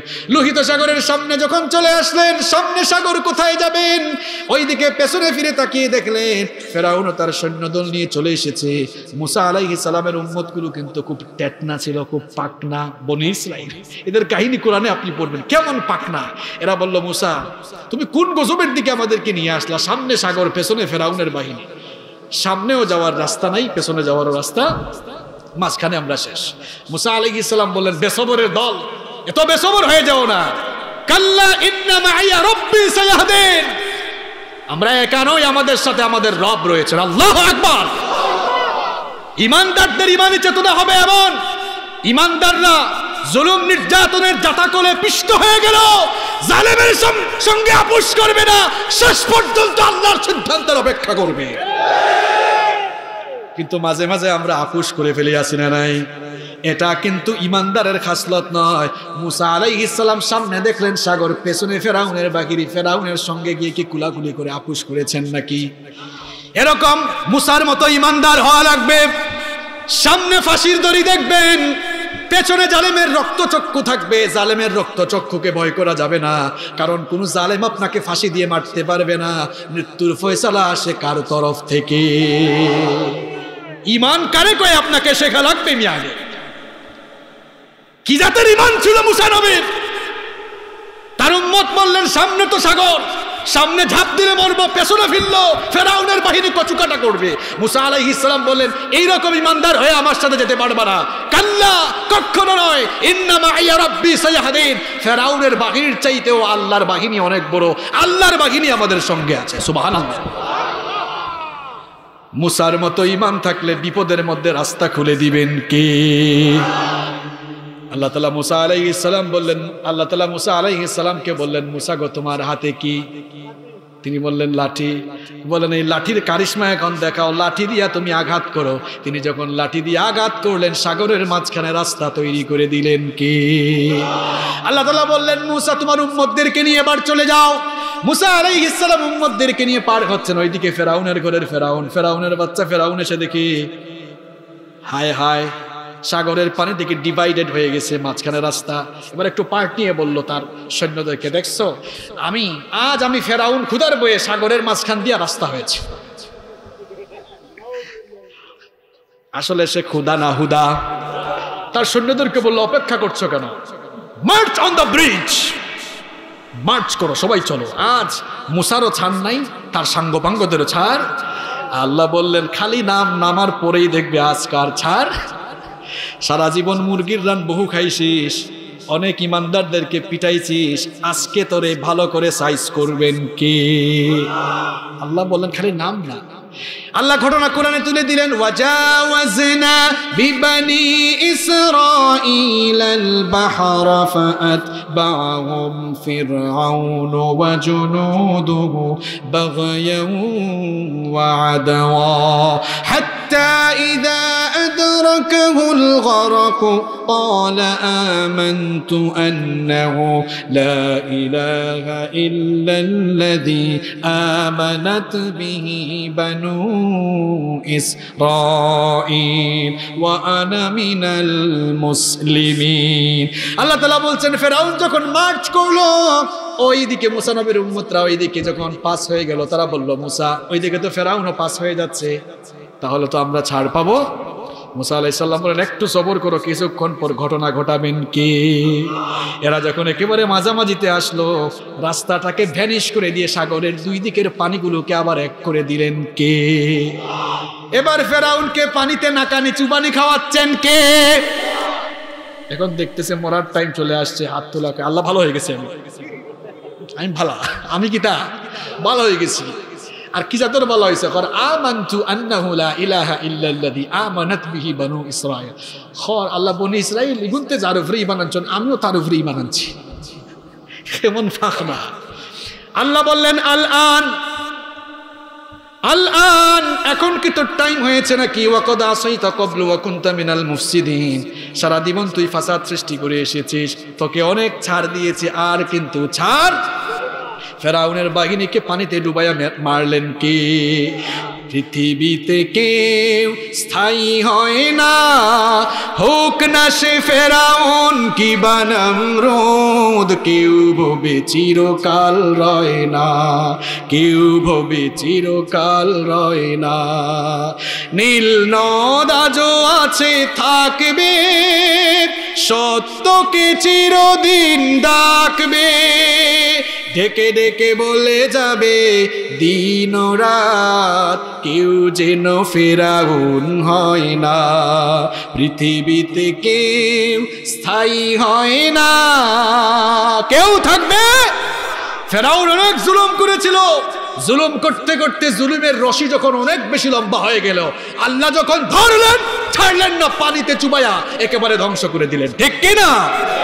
এই ফেরাউন চলে গেলেও তার দেহ এখনও আছে না নাই? এজন্য আল্লাহ সুরাই ইউনুসে বললেন, এই ফেরাউন, তোকে একেবারে শেষ করব না। ফালিয়াউমা নুনাজ্জিকা বিবাদানিকা লিতাকুনা লিমান খালফাকা আয়া। তোর দেহটাকে আমি বাঁচিয়ে রাখব, সংরক্ষণ করব। কারণ তোর নামে আর কেউ নাম রাখবে না। কারণ নাম রাখতে তো লজ্জা লাগবে কিন্তু তোর আদর্শ অনেকেই গ্রহণ করবে। যারা ক্ষমতাকে চিরস্থায়ী করার জন্য ইমানদারের উপরে আলেমুল আমাদের উপরে জুলুম নির্যাতন চালাবে। জুলুম নির্যাতনের শেষ পরিণতি যে তোর মতো গজব হয় এই রকম শিক্ষা নেওয়ার জন্য তোর দেহখানাকে আমি সংরক্ষণ করে রাখব। বলেন মিশরের রাজধানী কায়রোর মধ্যে ফেরাউনের দেহ আছে না নাই? গোটা দুনিয়ার ফেরাউনি চরিত্রের মানুষদেরকে বলতে চাই, ফেরাউনি জুলুম কমাও, ফেরাউনি জুলুম বন্ধ করো। নইলে আল্লাহ যখন ধরবেন, জুলুমের রশিটাকে যখন আল্লাহ পাকড়াও করবেন, গজব দিয়ে চূড়ান্ত ভাবে ধ্বংস করে দিবেন কে? যেন আল্লাহকে ভয় করার দরকার আছে না নাই? তাহলে বলছিলাম, গজব আসার দুই নাম্বার কারণ হলো মানুষ অবাধ্য হলে আল্লাহর সাথে বেয়াদবি করলে গজব দেন কে? গজব আসার কয় কারণ বলছিলাম? অনেক লম্বা সময় হয়ে যাচ্ছে, বাবারা, বারোটায় শেষ করে দিব। আর পনেরোটা মিনিট থাকতে পারবেন না? এখন এমনিতেই থাকা লাগবে, কারণ এমন পয়েন্ট আসবে, উঠলেই কিন্তু মানুষ বুঝবে, এইটা মনে হয় আপনার সাথে মিলে। অতবিল কিন্তু উঠার টাইম আসিল রে ভাই ওই দেখো মারিদের কি কে আর মারিও লাভ হইতো না এখন। এমন এমন পয়েন্ট এটা আমার কথা নাই নবীর হাদিস। এখন হওয়ার বাদে খেয়ে উঠলে আমি খাওয়া লাগতো না। মানছে বাব্বা আল্লাহ জানে, মনে হয় এই পয়েন্ট টিকান নবীজির হাদিস এগুলোকে মিলি গেছে। পেশাব পায়খানা আইলেও কিন্তু টাইট করি এখন বোয়া এখন আর ছুটাছুটি কষ্ট হচ্ছে আপনাদের? মানুষের উপরে মসিবত আসার কয় কারণ? বলছি দুইটা, বাকিগুলা খুব ছোট, শুনেন। তিন নাম্বার কারণ হলো মানুষ যখন গুনাহ করে, তখন আল্লাহ গুনা থেকে বাঁচাবার জন্য বান্দাদেরকে গজব দেন।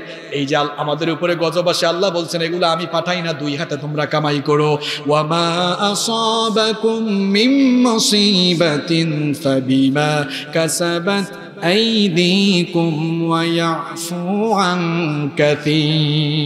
যত বিপদ তোমাদের উপরে আসে, সব তোমাদের দুই হাতের কামাই করা। বলেছেন কে? অন্য আয়াতে আল্লাহ বলেছেন ظهر الفساد في البر والبحر بما كسبت أيدي الناس ليذيقهم بعض الذي عملوا لعلهم يرجعون আল্লাহ তাআলা বলছেন স্থলে আর জলে তোমাদের উপরে যত ফাসাদ যত গজব আসে তোমাদের দুই হাতে এগুলো কামাই করো আবার দেখেন নবীজির হাদিসগুলো আপনি ভালো করে শুনেন নবীজি বলছেন আমার উম্মত যখন আমার উম্মত পাঁচটি বিষয়ে পরীক্ষার সম্মুখীন হবে। আমার উম্মতের মধ্যে যখন পাঁচটি খাসলত দেখা যাবে, তখন তাদের উপরে গজব দিবেন কে? এক নাম্বার শোনেন, নবীজি বলছেন, যখন আমার উম্মতের মধ্যে জেনা বেবিচার ফাহেসা কাজ, যখন আমার উম্মতের মধ্যে অশ্লীলতা ব্যাপকভাবে ছড়িয়ে পড়বে, তখন উম্মতের মধ্যে এমন এমন রূপ পয়দা হবে, যেই রোগগুলো তাদের পূর্ববর্তী পুরুষদের জামানায় ছিল। নবীজির হাদিস সত্য না মিথ্যা? আজ থেকে দুইশো বছর আগেও কিন্তু এইডস দুনিয়ায় ছিল। আমরা যখন যৌনতায় মেতে উঠলাম, আমরা যখন জেনার সাগরে ডুব দিলাম এইডসের এইডসের ভয়াবহতা এইডস নামক বেধি আল্লাহ দিলেন। আবার দেখেন আল্লাহ আল্লাহর নবী তো বলেছেন, মানুষ যখন বেশি বেশি অন্যায় করবে, আল্লাহ এমন এমন রোগ দিবেন যেই রোগ আগের জামানায় ছিল। আজ থেকে পাঁচ বছর আগে কি করোনা ভাইরাস ছিল নাকি? পৃথিবীর নারীগুলো যখন উলঙ্গ আর বেহায়াপনায় লিপ্ত হয়ে গেল, এমন গজব আল্লাহ দিলেন, পুরুষ হোক আর নারী হোক, সবাই এখন পর্দা করে মাস করে আসে না নাই? আবার দেখলাম, কিছু মানুষ শুধু মাস্ক লাগায় না, নেটের মতো কি আর একটা জানি মাথায় লাগায়। এরপরে পি পি পরে, আবার হেলমেটের মতো কি জানি পরে, দেখলে মনে হয় যেন মহাকাশ থেকে নাসার বিজ্ঞানী নেমে এসেছে। ঠিকটাতে কি তাই? না বেটিক কোনো মাতুর না। কারণ খতাগুলো আমার নাই খতাগুলো কইছেন মোহাম্মদ সাল্লাল্লাহু। এ লাগে কইছে যাবার টাইম মতো বিলেছিল, আর যাবার টাইম তা শেষ হয়ে গেছে যাওয়ার টাইম এক নাম্বার নবীজি বলেছেন, আমার উম্মতের লোকেরা যখন জেনা, বেবিচারে লিপ্ত হয়ে যাবে, এমন রোগ আল্লাহ দিবেন যা আগের জামানায় ছিল না। এই যে করোনা ভাইরাস আসলো, এখনও দেখবেন কিছু নারীরা নিকাব পরে না, পর্দা করে না, দেখা যায়।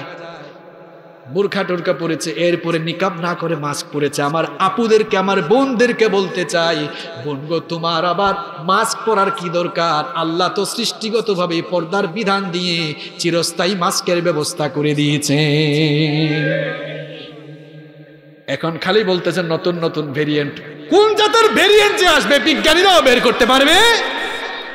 গজব টাকার এমন গজব কেউ কাউকে ছুই হাসি দিল বিপদ। আমি একদিন মেডিকেলও গেছিলাম গিয়া মারছি হাসি। মানুষে ওলা চাই না আমার ভাই। আমারও উঠছে রাগ হইলাম কি তো হয়েছে ইলা চাও কি তার লাগে? বুঝা যায় হাসি নেতাকে আসিল না। ঠিক না বে ঠিক। করোনা ভাইরাস ওই যে গত বছর আলোচনা শুরু করছিলাম এটা মানুষের লাগে রহমত আবার আল্লাহ এটা দিয়ে মানুষের কুদ্রত যেখান হচ্ছি কেনার হইতাম না এখন। নবীজি বলেছেন, দুই নম্বর হলো, যখন মানুষ ওজনে কম দিবে, তাদের উপরে দুর্ভিক্ষ নেমে আসবে। অনেক ব্যবসায়ী ভাইরা আছে, মাপে কম দেয়। আছে না নাই? এই জন্য দেখা যায়, ব্যবসার মধ্যে তার লস জীবনেও যায়। কারণ গজবটা কার?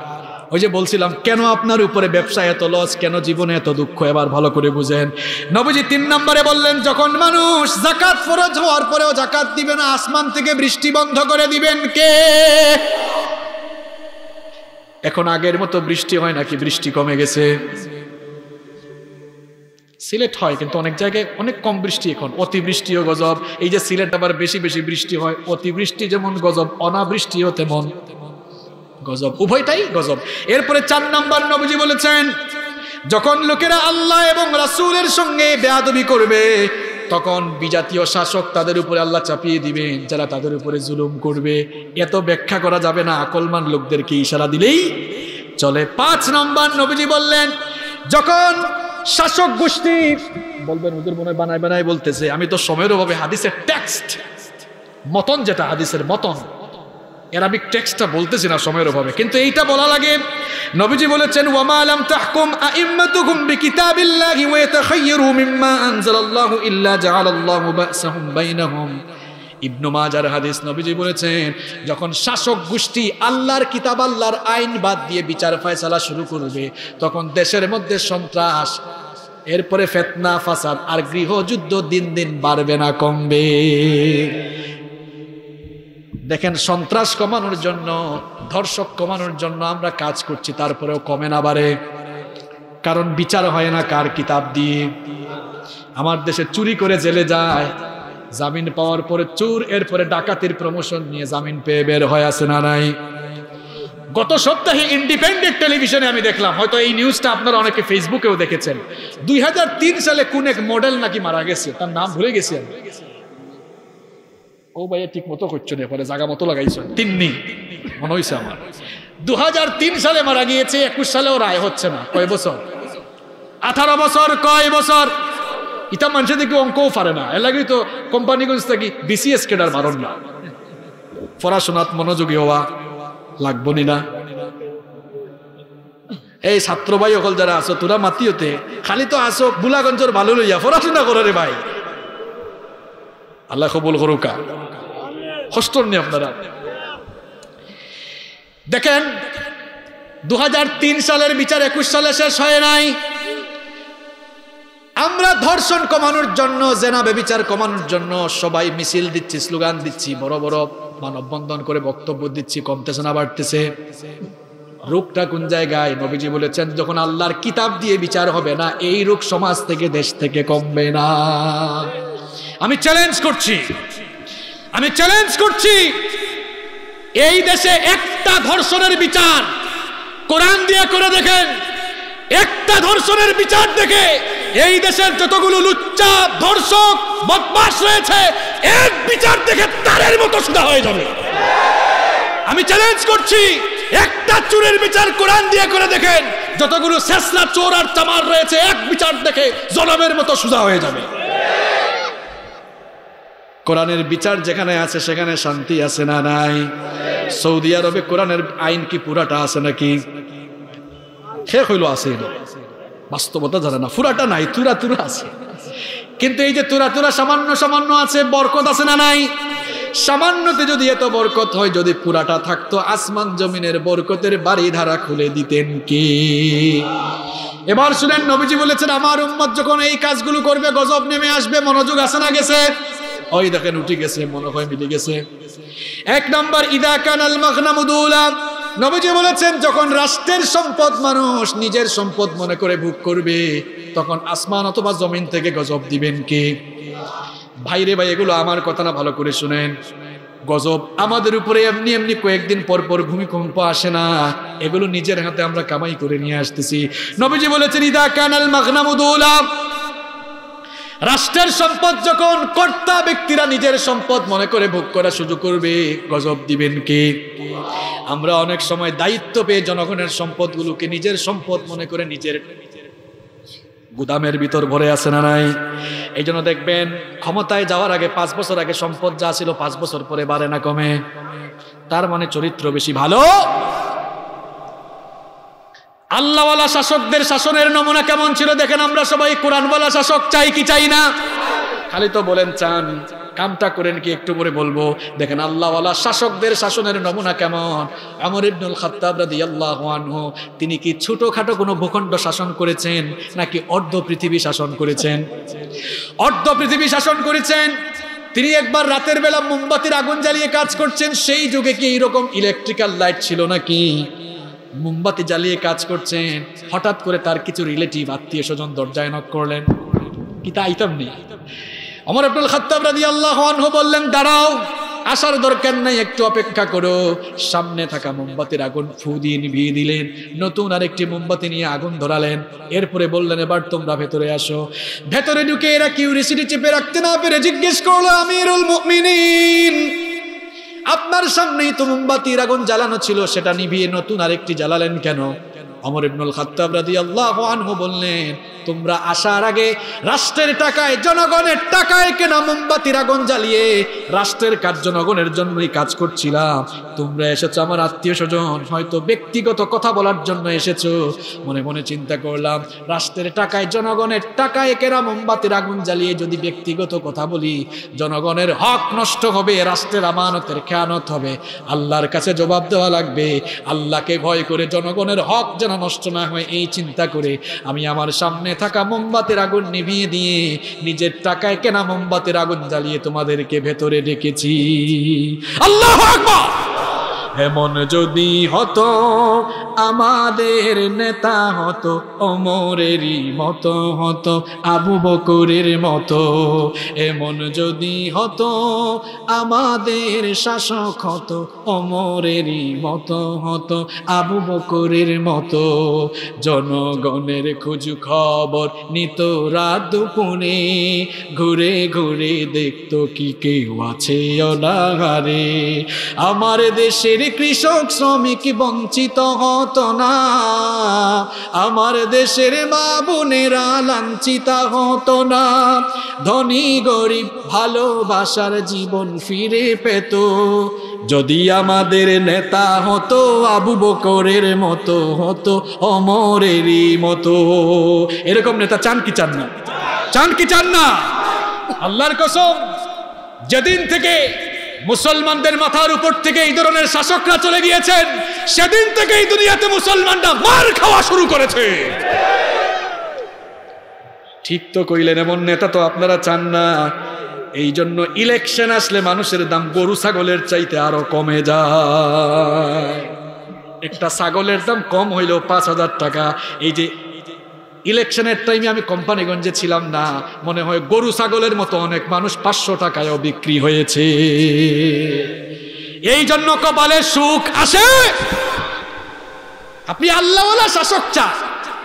কিন্তু আল্লাহওয়ালা শাসকদেরকে আপনি মূল্যায়ন করেন না।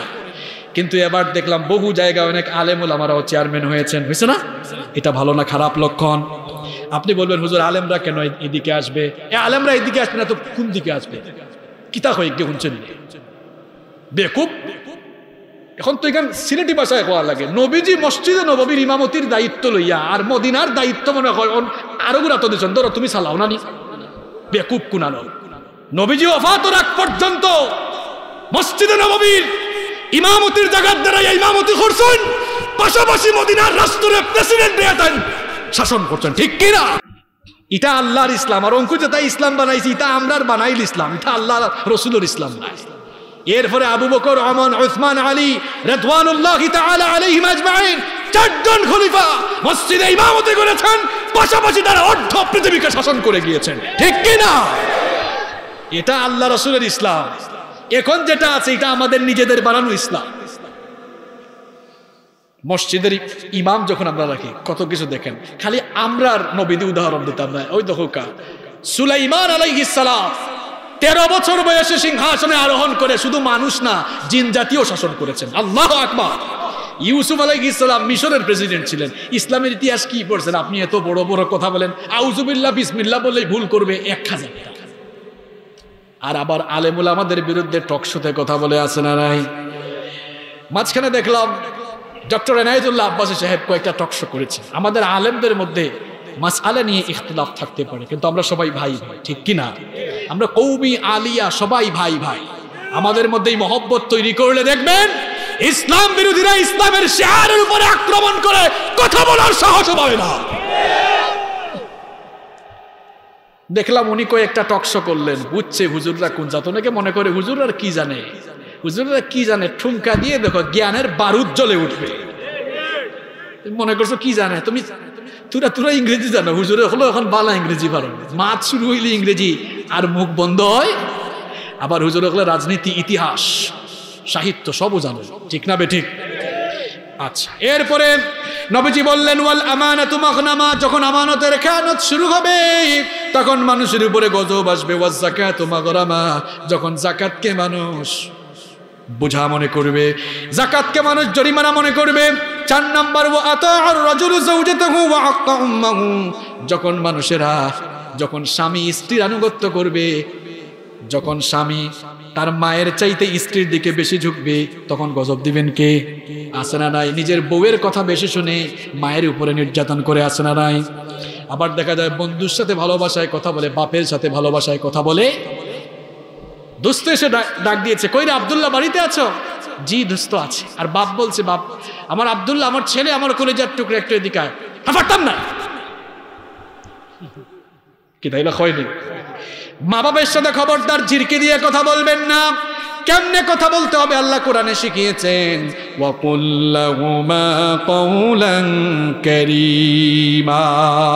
সম্মানজনক ভাষায়, ভদ্র ভাষায়, মার্জিত ভাষায় মা বাবার সঙ্গে কথা বলতে হবে।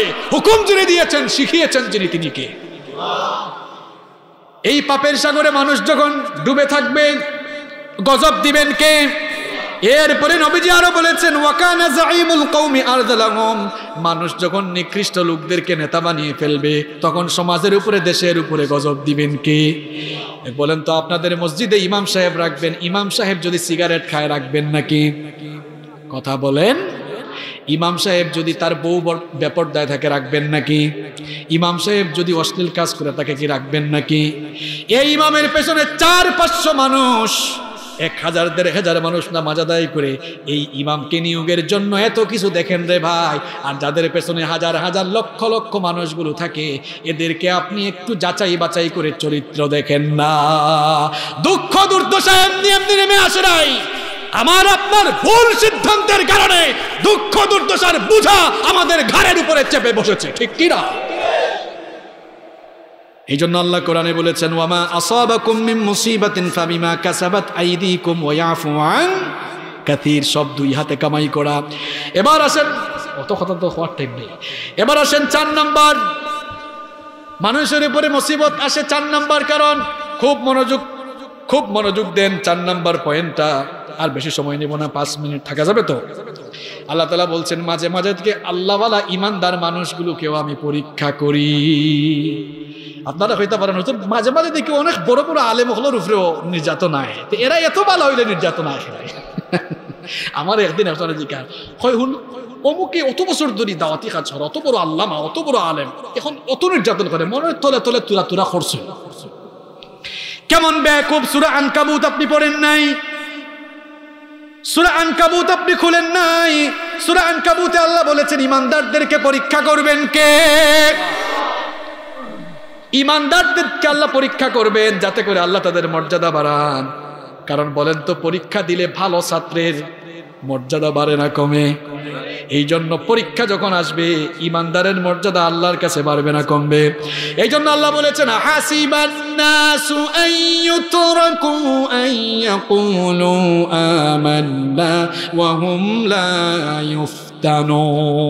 আল্লাহ তালা বলছেন, তোমরা কি মনে করেছ, কেবল ইমান এনেছি, এতটুকু কথা বললেই তোমাদেরকে ছেড়ে দেওয়া হবে? তোমাদেরকে পরীক্ষা করা হবে না। এটাকে তোমরা মনে করেছ না কুয়াহুমলা ইফতানুন ফেতনায় ফেলা হবে না। ওয়ালাকাদ ফাতান্নাল্লাযীনা মিন ক্বাবলিহিম ফালায়ালামান্নাল্লাহুল্লাযীনা সাদাকু ওয়ালায়ালামান্নাল কাযিবিন আল্লাহ তাআলা বলেছেন ইতিপূর্বে পরীক্ষা করেছি ইমানদারদেরকে যাতে করে ইমানদারদেরকে খাঁটি ইমানদারদেরকে সত্যবাদী ইমানদারদেরকে চিনে নিতে পারেন কে? দেখেন ইউসুফ আলাইহিস সালামকেও আল্লাহ পরীক্ষা করেছেন। ইউসুফ আলাইহিস সালামকে আল্লাহ পরীক্ষা করেছেন জুলাইখার ফিতনা। ইউসুফ আলাইহিস ইসলামকে গোটা মিশরের মধ্যে ধর্ষণকারী হিসাবে অপবাদ চাপিয়ে দেওয়া হলো। আজও দেখবেন নবীদের উত্তর সুরি আলেম ওলামাদেরকে ধর্ষণকারী বানায়া সমাজে প্রচার করা হচ্ছে। আপনি বলেন, হুজুর হয়েও মনে হয় তোলা তোলা করেছে। ধরে কি জানেন আপনি? আল্লাহ তো বলেছেন, ইমানদারদেরকেই আমি মুসিবতে ফেলি। ইউসুফ নবীকেও এমন মুসিবতে ফেলেছেন কে? আজ বাড়িতে গিয়ে ইউসুফ খুলে বাংলা অনুবাদটা পড়বেন। ভালো করে বুঝবেন, শুধু বাংলা অনুবাদ পড়বেন, তাফসির পড়া লাগবে না। খুব সুন্দর ইউসুফ নবীর কাহিনী কোরআনে দিয়েছেন কে? আবার দেখবেন মাঝে মাঝে আল্লাহর দিনের দায়ীরা হামলা মামলা জেলে যায়। আপনি মনে করেন, মনে হয় হুজুররা তোলে তোলে কিছু করছে, এই জন্য ঢুকছে। বেকুব আপনি, এমন বেকুব আপনি কি জানেন না? ইব্রাহিম আলাই ইসলাম মুসা আলাই ইসলামও জেল খেটেছেন, আমার নবীও জেল খেটেছেন। সুতরাং নবীদের তরিকায় যারা কাজ করবে, মাঝে মাঝে জালেমদের বিপক্ষে কথা বলতে গিয়ে তাদেরও জেলে ঢুকা লাগবে। এর মাধ্যমে ইমানদারদের মর্যাদা বাড়ে না কমে। হকপন্থী মানুষ কিন্তু জেলখানায়ও পাওয়া যদিও জেলখানা বানানো হয়েছে চোর ডাকাতদের জন্য, কিন্তু মাঝে মাঝে পৃথিবীর ইতিহাস আমাদেরকে বলছে, জালেমরা তাদের জুলুমকে চিরস্থায়ী করার জন্য মাঝে মাঝে হকপন্থী মানুষগুলোকেও তারা কারারুদ্ধ করে রাখে। খালি ঠিক কইলে ওই তো নাই হেদায়াতন নিয়তে হুনা। তাহলে ইমানদারদেরকে মর্যাদা বাড়ানোর জন্য পরীক্ষা করেন কে? আমি তো কোরআনের আয়াত দিয়ে বলছি বাড়িতে গিয়ে মেলাবেন। ওয়া ইদি বিতালা ইব্রাহিম রব্ব ربه بكلمات فأتمهن قال إني جاعلك للناس إماما আল্লাহ তালা বলছেন স্মরণ করো আমার খলিল ইব্রাহিমের কথা ইব্রাহিম আলাইহিস সালামের গোটা জীবনটাই পরীক্ষার ছিল ইমানের দাওয়াত দেওয়ার কারণে নমরুদ তাকে আগুনের কুণ্ডলিতে ফেললো বিশাল আগুনের কুণ্ডলি জ্বালিয়ে আগুনে ফেলবে ফেরেশতা এসে বলছে ওগো আল্লাহর খালিল একটা অনুমতি দেন আমার ডানার ঝাপটায় আগুনটা আমি নিভাইয়া দেব। ইব্রাহিম আলাইসালাম তখন বলেন হাস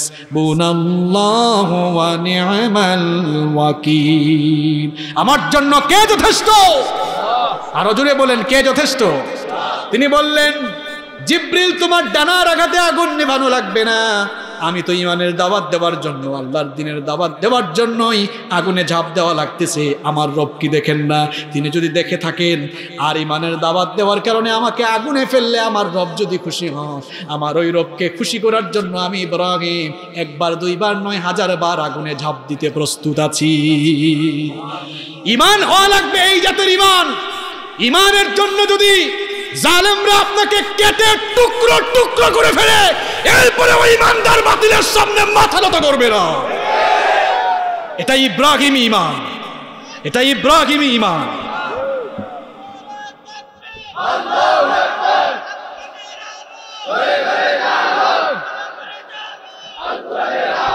এটা স্লোগান দিয়ে লাভ হইতো না, এরার ফেটঙ্কু বাদ নাই।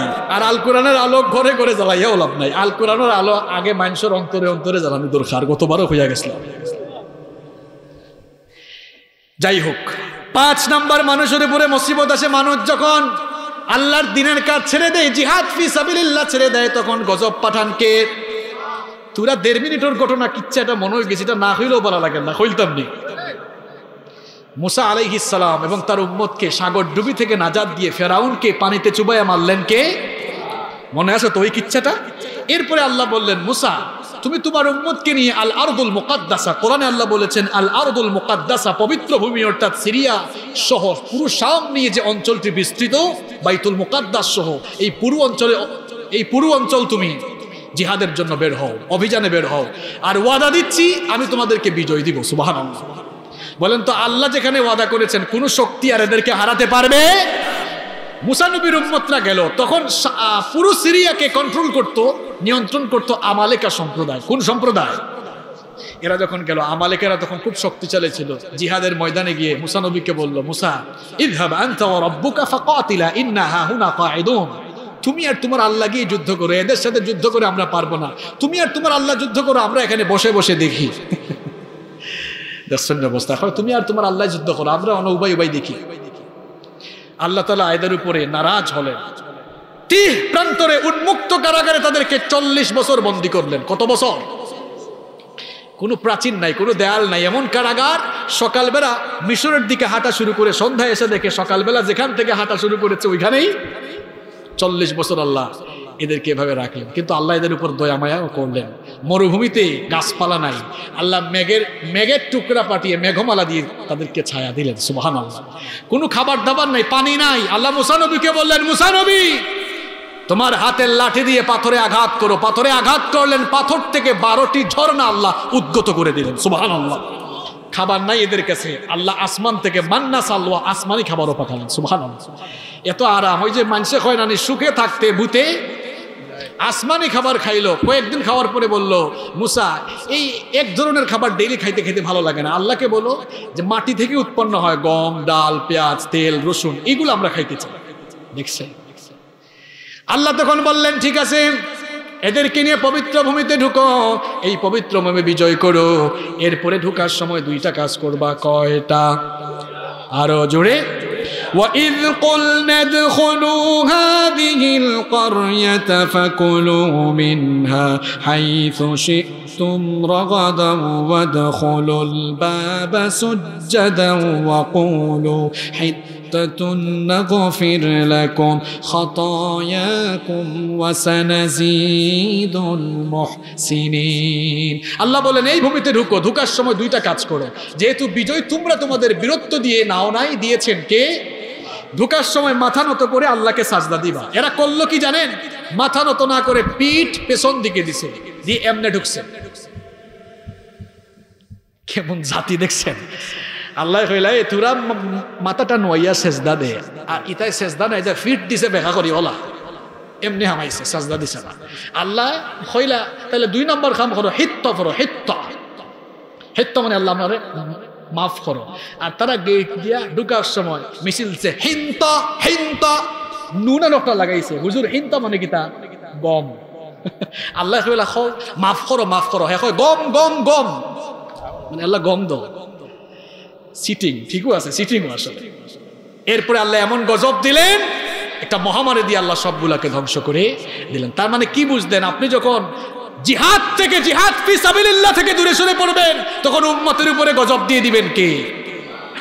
আপনি শুধু তসবি টিপা নিয়ে ব্যস্ত থাকলে হবে না, আল্লাহর জমিনে, আল্লাহর দিন কায়েমের জন্য আপনাকে কাজ করা লাগবে। আর কষ্ট দিতাম না বাবা হল, ভাই হল। শেষ ছয় নম্বর পয়েন্ট মানুষ যখন হক কথা বলা বন্ধ করবে, সমাজের উপরে গজব আল্লাহ চাপিয়ে দিবে। অন্যায় চলছে, না হক চলছে, সবাই চুপচাপ। গজব আসবে এই জন্য আল্লাহ বলেছেন واتقوا فتنة لا تصيبن الذين ظلموا منكم خاصة واعلموا أن الله شديد العقاب আল্লাহ তালা বললেন সাবধান হও সতর্ক থাকো সেই সকল বিপদ মুসিবত থেকে যা শুধুমাত্র জালেমদের উপর আসবে না জালেমদের জুলুম দেখে যারা চুপ থাকবে তাদের উপরেও গজব আসবে এবার শোনেন, কেমনে গজব আসে? আমাদের আলোচনা আমরা শেষ করব সুন্দর একটি কাহিনী দিয়ে। বলেন তো আপনারা, দাউদ আলাইহ ইসলামের নাম শুনেছেন? দাউদ আলাইহ ইসলামের জামানায় শনিবারের দিন মাছ ধরা নিষিদ্ধ ছিল। আল্লাহ আদেশ দিলেন শনিবারে মাছ ধরবা না। আমাদের সাপ্তাহিক এবাদতের দিন কোনটা? শনিবার, রবিবার না জুমাবার? মাতুকা, কিবার? দাউদ আলাইহ ইসলামের জামানায় শনিবার ছিল সাপ্তাহিক এবাদতের দিন এবং আল্লাহর নির্দেশ ছিল শনিবারে মাছ ধরবা। এরা কি করল? খুব কৌশল করল, অপকৌশল। বলল, আল্লাহ যেহেতু বলছেন শনিবারে মাছ ধরবা না, আমরা মাছ ধরবো না, চতুর্দিকে বেড়া দিয়ে আইল দিয়ে মাছ আটকায় রাখব আর রবিবারে ধরে ধরে মজা করে খাব। আমরা তো আর শনিবারে ধরলাম না, আটকাইছি আর কি। আল্লাহ তো বলছেন, ধরিও না, খাইও না, ধরিও নাই, খাইও না আটকাইছি না। এখন এই মানুষগুলো অন্যায় করল। এদের অন্যায় দেখল দুই শ্রেণির মানুষ। কয় শ্রেণির মানুষ? এক গ্রুপ অন্যায় দেখল, চুপ থাকল। নিজেরা অন্যায় করল না, বাধাও দিল না। আরেক গ্রুপ অন্যায় দেখল, গিয়ে বলে, এই ভাইরা, কি করতেছো আল্লাহ? নির্দেশ দিয়েছেন, আল্লাহর আইন অমান্য করছ কেন? অর্থাৎ এরা আল্লাহর আইন মেনেছে, আবার যারা এই কাজ করেছে, তাদেরকে বাধাও দিয়েছে। শেষমেশ যখন গজব এসেছে, যারা চুপচাপ থেকেছে, বেশি বুজুর্গগিরি দেখিয়েছে, নিজে চুপ, বাধা দেয় নাই, আল্লাহর গজব যখন এসেছে এই জালেমগুলো শুদ্ধা, যারা অন্যায় দেখে বাধা দেয় নাই, এদেরকে সহ বনি ইসরায়েলের সত্তর হাজার ইহুদিকে আল্লাহ বানর বানিয়ে দিয়েছে কত হাজার? তার মানে আপনার সমাজে অন্যায় চলবে। আপনি বাঁচার জন্য হক কথা বলা লাগবে। যদি না বলেন, নবীজি বলেছেন আসাকিতু আনিল হক্কি, ফাহুয়া শাইতানুল আখরাস। হক থেকে যে চুপ থাকবে, এ হচ্ছে বুবা শয়তান। কি শয়তান? বুখারীর হাদিস আবুল তাবুল কিচ্ছা কাহিনী না। নবীজি বললেন হক কথা যারা বলে না, যারা জুলুম দেখে চুপচাপ থাকে, এদের উদাহরণ হলো দুই তলা বিশিষ্ট জাহাজের যাত্রীর মতো। কয় তলা? কয় তলা? আমি বরিশাল থেকে আইয়া মারতে মারতে ফেটো বুক লাগান না, কালকে বরিশাল আসলাম। আর এরা বাতুত খাইয়া আইয়া কি যাত অবস্থা দেখলাম মাথা লাগবো? ছয়তলা বিশিষ্ট? দুই তলা বিশিষ্ট জাহাজের যাত্রীর মতো নিচের তলার মানুষরা মাঝে মাঝে পানির আনতে উপরের তোলায় যায়। উপরের তলার মানুষরা বলে তোরা বারবার উপরের তোলা আসিস কেন? নিচের তলার লোকেরা বলল, ঠিক আছে, আমাদের পানির দরকার হলে আমরা আসব না। পানির দরকার হলে জাহাজকে ফুটা করে পানি তোলা শুরু করব। এই পাগলাগুলো যদি সত্যি এই কাজ শুরু করে, আর উপরের তলার কেউ যদি বাধা না দেয়, জাহাজ ডুবলে নিচের তলার মানুষ মরবে না উপরের তলার গুলাও মরবে? নবীজি কি সুন্দর উদাহরণ দিলেন! তোমার সমাজে না হক, চলবে! অন্যায় চলবে, জুলুম চলবে। তুমি যদি হকের পক্ষে আওয়াজ না তুলো, আল্লাহর গজব আসলে তোমার মতো বুজুর্গকেও আল্লাহর গজবে পড়া লাগবে। আল্লাহ আমাদেরকে হকের জন্য কবুল করে নাও। তাহলে গজব আসার কয় কারণ? ছয় কারণ। এই ছয়টা গাছ থেকে বেঁচে আল্লাহকে ভয় করে আল্লাহর বিধান মতো জীবন পরিচালনা করব, আল্লাহ তৌফিক দান করেন। একটা ভাই, একটা বাবা উঠতে পারতাম না আল্লাহর বস্তে এখন গভীর রায় দোয়া কবুলের সময়। আমরা দোয়া করে যাই মহিনসা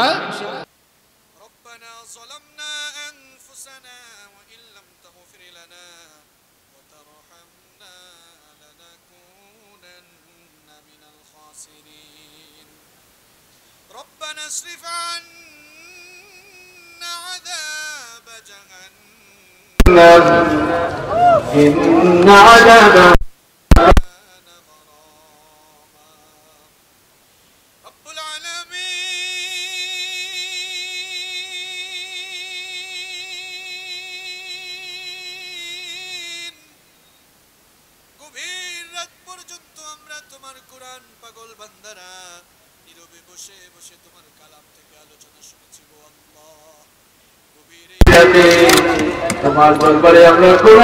দল গুনার বোঝা মাথায় নিয়ে, জীবনের সমস্ত গুণাগুলোকে সামনে নিয়ে, এতিমের মতো, গোলামের মতো, মাথা নত করে, ভিক্ষুকের মতো দোকান হাত তোমার কাছে তুলেছি গো আল্লাহ।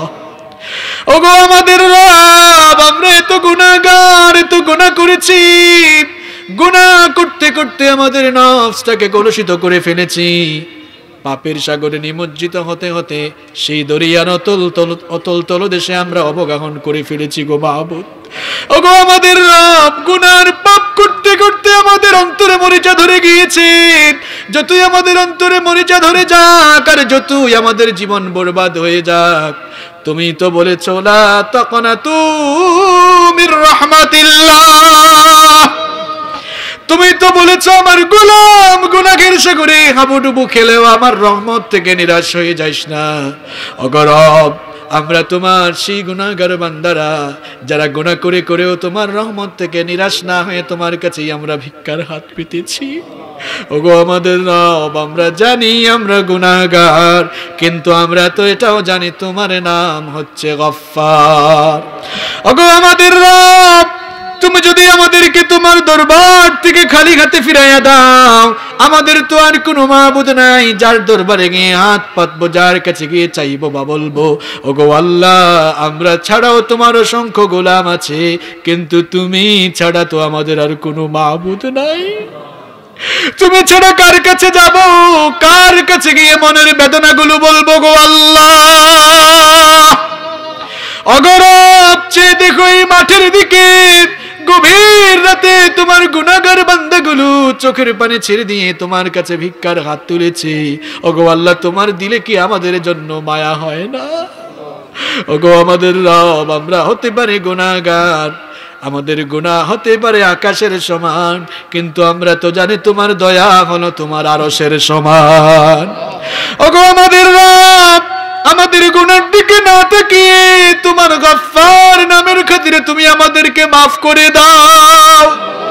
তুমি আমাদেরকে যদি ক্ষমা না করো, গুনার এই বুঝা মাথায় নিয়ে অন্ধকার কবরে গেলে জাহান নামের আজাব ছাড়া কিছুই আর নসিব হবে না।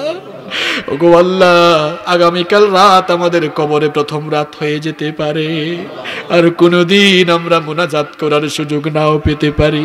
এমনও তো হতে পারে, আজকের এই মোনাজাত আমাদের কারও কারও জন্য জীবনের শেষ মোনাজাত হয়ে যেতে পারে। আর কোনোদিন তোমার কাছে হাত তোলার সুযোগ নাও পেতে পারি গো আল্লাহ। ওগো আল্লাহ, আমরা গুনাহগার হয়ে অন্ধকার কবরে গিয়ে জাহান্নামের আগুনে পুড়তে চাই না। মাটির তৈরি এই শরীর নিয়ে কি করে আমরা জাহান্নামের আগুনে পুরব গো আল্লাহ? ওগো আমাদের রব, এই জন্য তোমার কাছে ভিক্ষার হাত তুলেছি, তুমি আমাদেরকে খালি হাতে ফিরাইয়া দিও না। আমরা যারা হাত তুলেছি, আমাদের প্রত্যেককে বেগুনার মাসুম বানিয়ে বাড়িতে ফিরাইয়া দাও। অগরব আমার অনেক যুবক ভাই, অনেক তরুণ ভাইয়েরা স্কুল, কলেজ, মাদ্রাসা, বিশ্ববিদ্যালয়ের ছাত্র ভাইরা এসেছে। আমার এই ভাই, এগুলোকে তুমি মাফ করে দাও। আমার এই ভাই, এগুলোকে তুমি নামাজি বানিয়ে দাও। আমার এই ভাইগুলোকে দাঁড়িয়ে রাখার তৌফিক দান করে দাও। রব্বুল আলমিন আমাদের যাদের সন্তান রয়েছে, ছেলে মেয়েগুলোকে আল্লাহওয়ালা বানিয়ে দাও। চোখের সামনে মা বাবার চোখের সামনে ছেলে মেয়ে নষ্ট হলে মা বাপের যে কত খারাপ লাগে, ওই মা বাপ ভুক্তভোগী মা বাপ ছাড়া আর কেউ বুঝবে না গো আল্লাহ। রব্বুল আলমিন আমাদের ছেলে মেয়েগুলোতে, আমাদের আর আমাদের ছেলে মেয়েগুলোকে চোখের যন্ত্রণাকারী না বানিয়ে, তাদেরকে আমাদের জন্য চক্ষু শীতলকারী বানিয়ে দাও। রব্বুল আলমিন,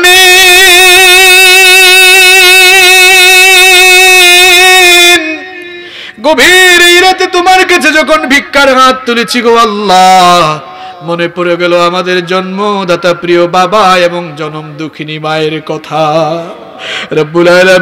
বাবার কথা মনে হলেই ছোটবেলার দৃশ্যগুলো স্মৃতিপটে ভেসে আসে গো মাহবুদ বাবা আমাদেরকে বটবৃক্ষের মতো ছায়া দিয়ে কত দুঃখ, যাতনা, কষ্ট স্যাক্রিফাইস করে আমাদেরকে লালন পালন করেছেন। বাবা সন্তানকে খাবার খেতে নিয়ে বসলে নিজে না খেয়ে সন্তানের মুখে খাবারের লোকমা তুলে দিয়েছে। বাজারে গেলে নিজের জন্য কেনাকাটা খাবার না কিনে সন্তানের জন্য কেনাকাটা আর খাবার কিনেছে। রব্বুল আলামিন বাবা কত ধন সম্পদ উপার্জন করেছেন, দুনিয়া থেকে যাওয়ার সময় সব সন্তানদের হাতে দিয়ে এতিমের মতো, নিঃস্বের মতো একাকী অন্ধকার কবরে চলে গেলেন। বাপ, যারা হারিয়েছি, আমরা বাপ হারা এতিম সন্তানরা। ঘুরে গিয়ে বাবা বাবা বলে মনের জ্বালা মিটাতে পারি না গো আল্লাহ। আবার আমার অনেক ভাইয়েরা মাও হারিয়ে ফেলেছেন। অগরব একটি অক্ষর মাত্র মা কিন্তু মনে হয় যেন গোটা দুনিয়ার সকল মধু তুমি এই নামে ঢেলে দিয়েছ গো আল্লাহ। কত মধু মাখা, কত জাদু মাখাই না। রব্বুল আলামিন। আমরা তো পুরুষ মানুষ, গর্ভধারণের যন্ত্রণা আমরা অনুধাবন করতে পারব না। ওগো আমাদের রব, আমাদের মা কত কষ্ট করেছে। আমরা যদি আমাদের গায়ের চামড়া দিয়ে মায়ের জন্য স্যান্ডেলের ফিতাও বানায় দেই, ছোটবেলায় মায়ের যে বুকের দুধ খেয়ে আমরা যে তিল তিল করে বড় হয়েছি, এক ফুটা দুধের হক আদায় করা সম্ভব হবে না গো আল্লাহ। আমাদের মা নয় মাস, দশ মাস, দশ দিন আমাদেরকে গর্ভধারণের যন্ত্রণা আমাদের জন্য সহ্য করেছে। রাতের বেলা শীতের দিনে মানুষ লেপ, কম্বল গায়ে দিয়ে আরাম করে ঘুমায়। কিন্তু আমরা যখন আমাদের মায়ের পেটে ছিলাম, মা যখন রাতের বেলা ঘুমালেন, তখন সন্তান পেটের ভেতরে নড়াচড়া, গুতাগুতি শুরু করল। মায়ের তখন কলিজা ছেঁড়া বেদনা শুরু হয়ে গেল। আমাদের মা তখন আরামের ঘুম হারাম করে দিয়ে চোখের পানি ছেড়ে ছেড়ে সারা রাত জেগে জেগে কাটিয়েছে। রব্বুল আলামিন, এভাবে মায়ের চোখের পানিগুলো রাতের বেলা যে ঝরেছে, সেগুলোর নীরব সাক্ষী কেবল তুমি ছাড়া আর কেউ নাই গো আল্লাহ। শুধু রাতের বেলা নয়, দিনের বেলাও আমাদেরকে পেটে নিয়ে সাংসারিক সকল কাজ করেছেন। আবার যখন আমাদেরকে ডেলিভারি করলেন, যেদিন আমাদেরকে প্রসব করলেন, চিকিৎসা বিজ্ঞান বলছে একজন মানুষ সর্বোচ্চ বিশ থেকে পঁচিশ ইউনিট পর্যন্ত ব্যথা সইতে পারে। কিন্তু আমাদের মা যেদিন আমাদেরকে প্রসব করলেন, বিশ আর পঁচিশ নয়, পঞ্চাশ থেকে পঞ্চান্ন ইউনিটের নারী ছেঁড়া বেদনা সহ্য করেছে একজন মানুষ কি করে এত ব্যথা, এত বেদনা সহ্য করে? আমাদের জনম দুঃখিনী, গর্ভধারিণী মা, আর তুমি ছাড়া কেউ বুঝবে না গো আল্লাহ। আমাদের সেই কলিজার টুকরা জনম দুঃখিনী মা, আর বাবা যাদের দুনিয়া থেকে বিদায় হয়েছে। ওগো আল্লাহ, চেয়ে দেখেই ময়দানের দিকে মা বাপ ফারায়াতিব সন্তানগুলো চোখের পানি ছেড়ে দিয়ে ভিক্ষার হাত তুলেছে। ওগো আল্লাহ, তোমার কি দয়া হয় না? আমাদের চোখের পানি দিয়ে আমাদের কবরবাসী মা বাবার কবরের জাহান নামের আগুন তুমি চিরদিনের মতো নিভায়া দাও। আমাদের কবরবাসী মা বাবার কবরগুলোকে জান্নাতুল ফেরদাউস বানিয়ে দাও। আমাদের যাদের মা বাবা বেঁচে আছেন, নেক হায়াত বাড়িয়ে দাও। যতদিন তারা বেঁচে থাকবেন, তাদের খিদমত করার তৌফিক দান করে দাও। আল্লাহুম্মা গফিরলি ওয়া وقل رب ارحمهما. شبي زبان تاكل دنيا ما شذبر رب ارحمهما كما ربياني صغيرا رب ارحمهما كما ربياني صغيرا রব্বুল আলমিন এই পারুয়া উজান পরানো আগাও এলাকায় যত কবরস্থান রয়েছে, কবরস্থানের সকল মুর্দেগানদের কবরের আজাব মাফ করে দাও। রব্বুল আলমিন বিশেষ করে এই এলাকায় আমার নানা নানি, আমার মামাদের কবর রয়েছে, তাদের সকলের কবরের আজাব তুমি মাফ করে দাও। রব্বুল আলমিন আমাদের দুজন অভিভাবক অত্যন্ত অসুস্থ, আমাদের মাথার তাজ। সাবেক উপজেলার চেয়ারম্যান জনাব আব্দুল বাসির সাহেব এবং সাবেক ইউনিয়ন চেয়ারম্যান জনাব আব্দুল রাজ্জাক সাহেব। রব্বুল আলমিন আমাদের এই দুই মাথার তাজ অত্যন্ত অসুস্থ। রব্বুল আলমিন, তুমি তাদের উপরে রহম করো। তাদেরকে যতদিন হায়াত আছে আমাদের সামনে ইমানের সঙ্গে বাঁচিয়ে রাখো। রব্বুল আলমিন, তাদেরকে তুমি শিফায়, আজিলা এবং কামিলা নসিব করে দাও।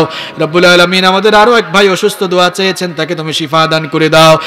আজকের এই মাহফিল আমার যে যুবক আর তরুণ ভাইয়েরা এত কষ্ট করে আয়োজন করলেন, আমার কলেজার টুকরা যুবক ভাইদের গুণাগুলো মাফ করে দাও। প্রত্যেক বছর তারা যেন এই আয়োজনকে ধরে রাখতে পারেন, সেই তৌফিক তাদেরকে দান করে দাও। রব্বুল আলমিন এখানে অসংখ্য ওলামায়কেরাম এসেছেন। রব্বুল আলমিন কারোরই তো নাম বলার দরকার নাই। আমাদের মাথার তাজ ওলামায় কেরাম যারা এসেছেন, তাদের হায়াতের মধ্যে আইলমার আমলের মধ্যে বারাকা দান করে দাও। রব্বুল আলমিন বাংলাদেশের সকল আলেমদেরকে এক কারণে এক হওয়ার তৌফিক দান করে দাও। ভেদাভেদ ভুলে গিয়ে আমরা যেন এক হয়ে চলতে পারি, সেই তৌফিক দান করে দাও। রব্বুল আলমিন, ইয়া আরহামার রাহিমিন মাহবুদ আজকের এই মাহফিলের সভাপতি প্রধান অতিথি সহ যত উলামায়ে কেরাম, আজকে এসে বক্তব্য দিয়েছেন, সকলের হায়াত ইলম এবং আমলের মধ্যে বারাকা দান করে দাও। মাহফিলের পরিচালক আমাদের অত্যন্ত প্রিয় ভাই মাওলানা রবিউল ইসলাম, রব্বুল আলমিন, মাওলানা বদরুল ইসলাম, রব্বুল আলমিন, তাকে তুমি মাফ করে দাও। রব্বুল আলমিন, তার হায়াতের মধ্যে তুমি বরকত দান করে দাও। রব্বুল আলমিন, শেষ আবেদন তোমার কাছে গো আল্লাহ। এই বাংলাদেশে কোরআনের প্রচার প্রসারের জন্য আমরা দিনরাত ছুটাছুটি করিয়ে দিই ওদিক এক অঞ্চল থেকে আরেক অঞ্চলে যাই। রাস্তাঘাটে তুমি আমাদের হেফাজতকারী হয়ে যেও গো আল্লাহ। রব্বুল আলমিন, তুমি ছাড়া আমাদের জন্য কোনো অভিভাবক নাই। তুমি ছাড়া আমাদের জন্য কোনো সাহায্যকারী নাই। রব্বুল আলমিন, আখেরি দরখাস্ত তোমার কাছে গো আল্লাহ। দুনিয়াতে কেউ আমরা চিরদিন থাকব না। সবাই আমরা দুনিয়া ছেড়ে চলে যাব। আমাদের গুনার পাপের কারণে তুমি আমাদেরকে গাড়ির নিচে ফেলে দিয়ে কঠিন কঠিন রোগ নিয়ে পায়খানা, প্রস্রাবে, বিছানায় গোড়াগুড়ি করে এমন জিল্লতি আর বেজ্জতির মৌত আমাদেরকে দিও না। রব্বুল আলামিন আমাদেরকে ইজ্জতের হায়াত আর ইজ্জতের মৌত নসিব করে দিও। মৌতের সময় যখন আসবে, তখন আমাদেরকে পবিত্র বানিয়ে আমাদের জবান থেকে তুমি বের করে দিও। লা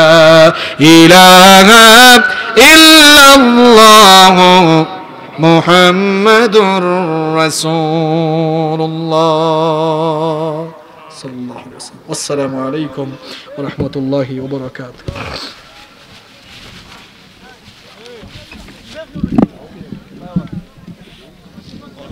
Zoete gassen.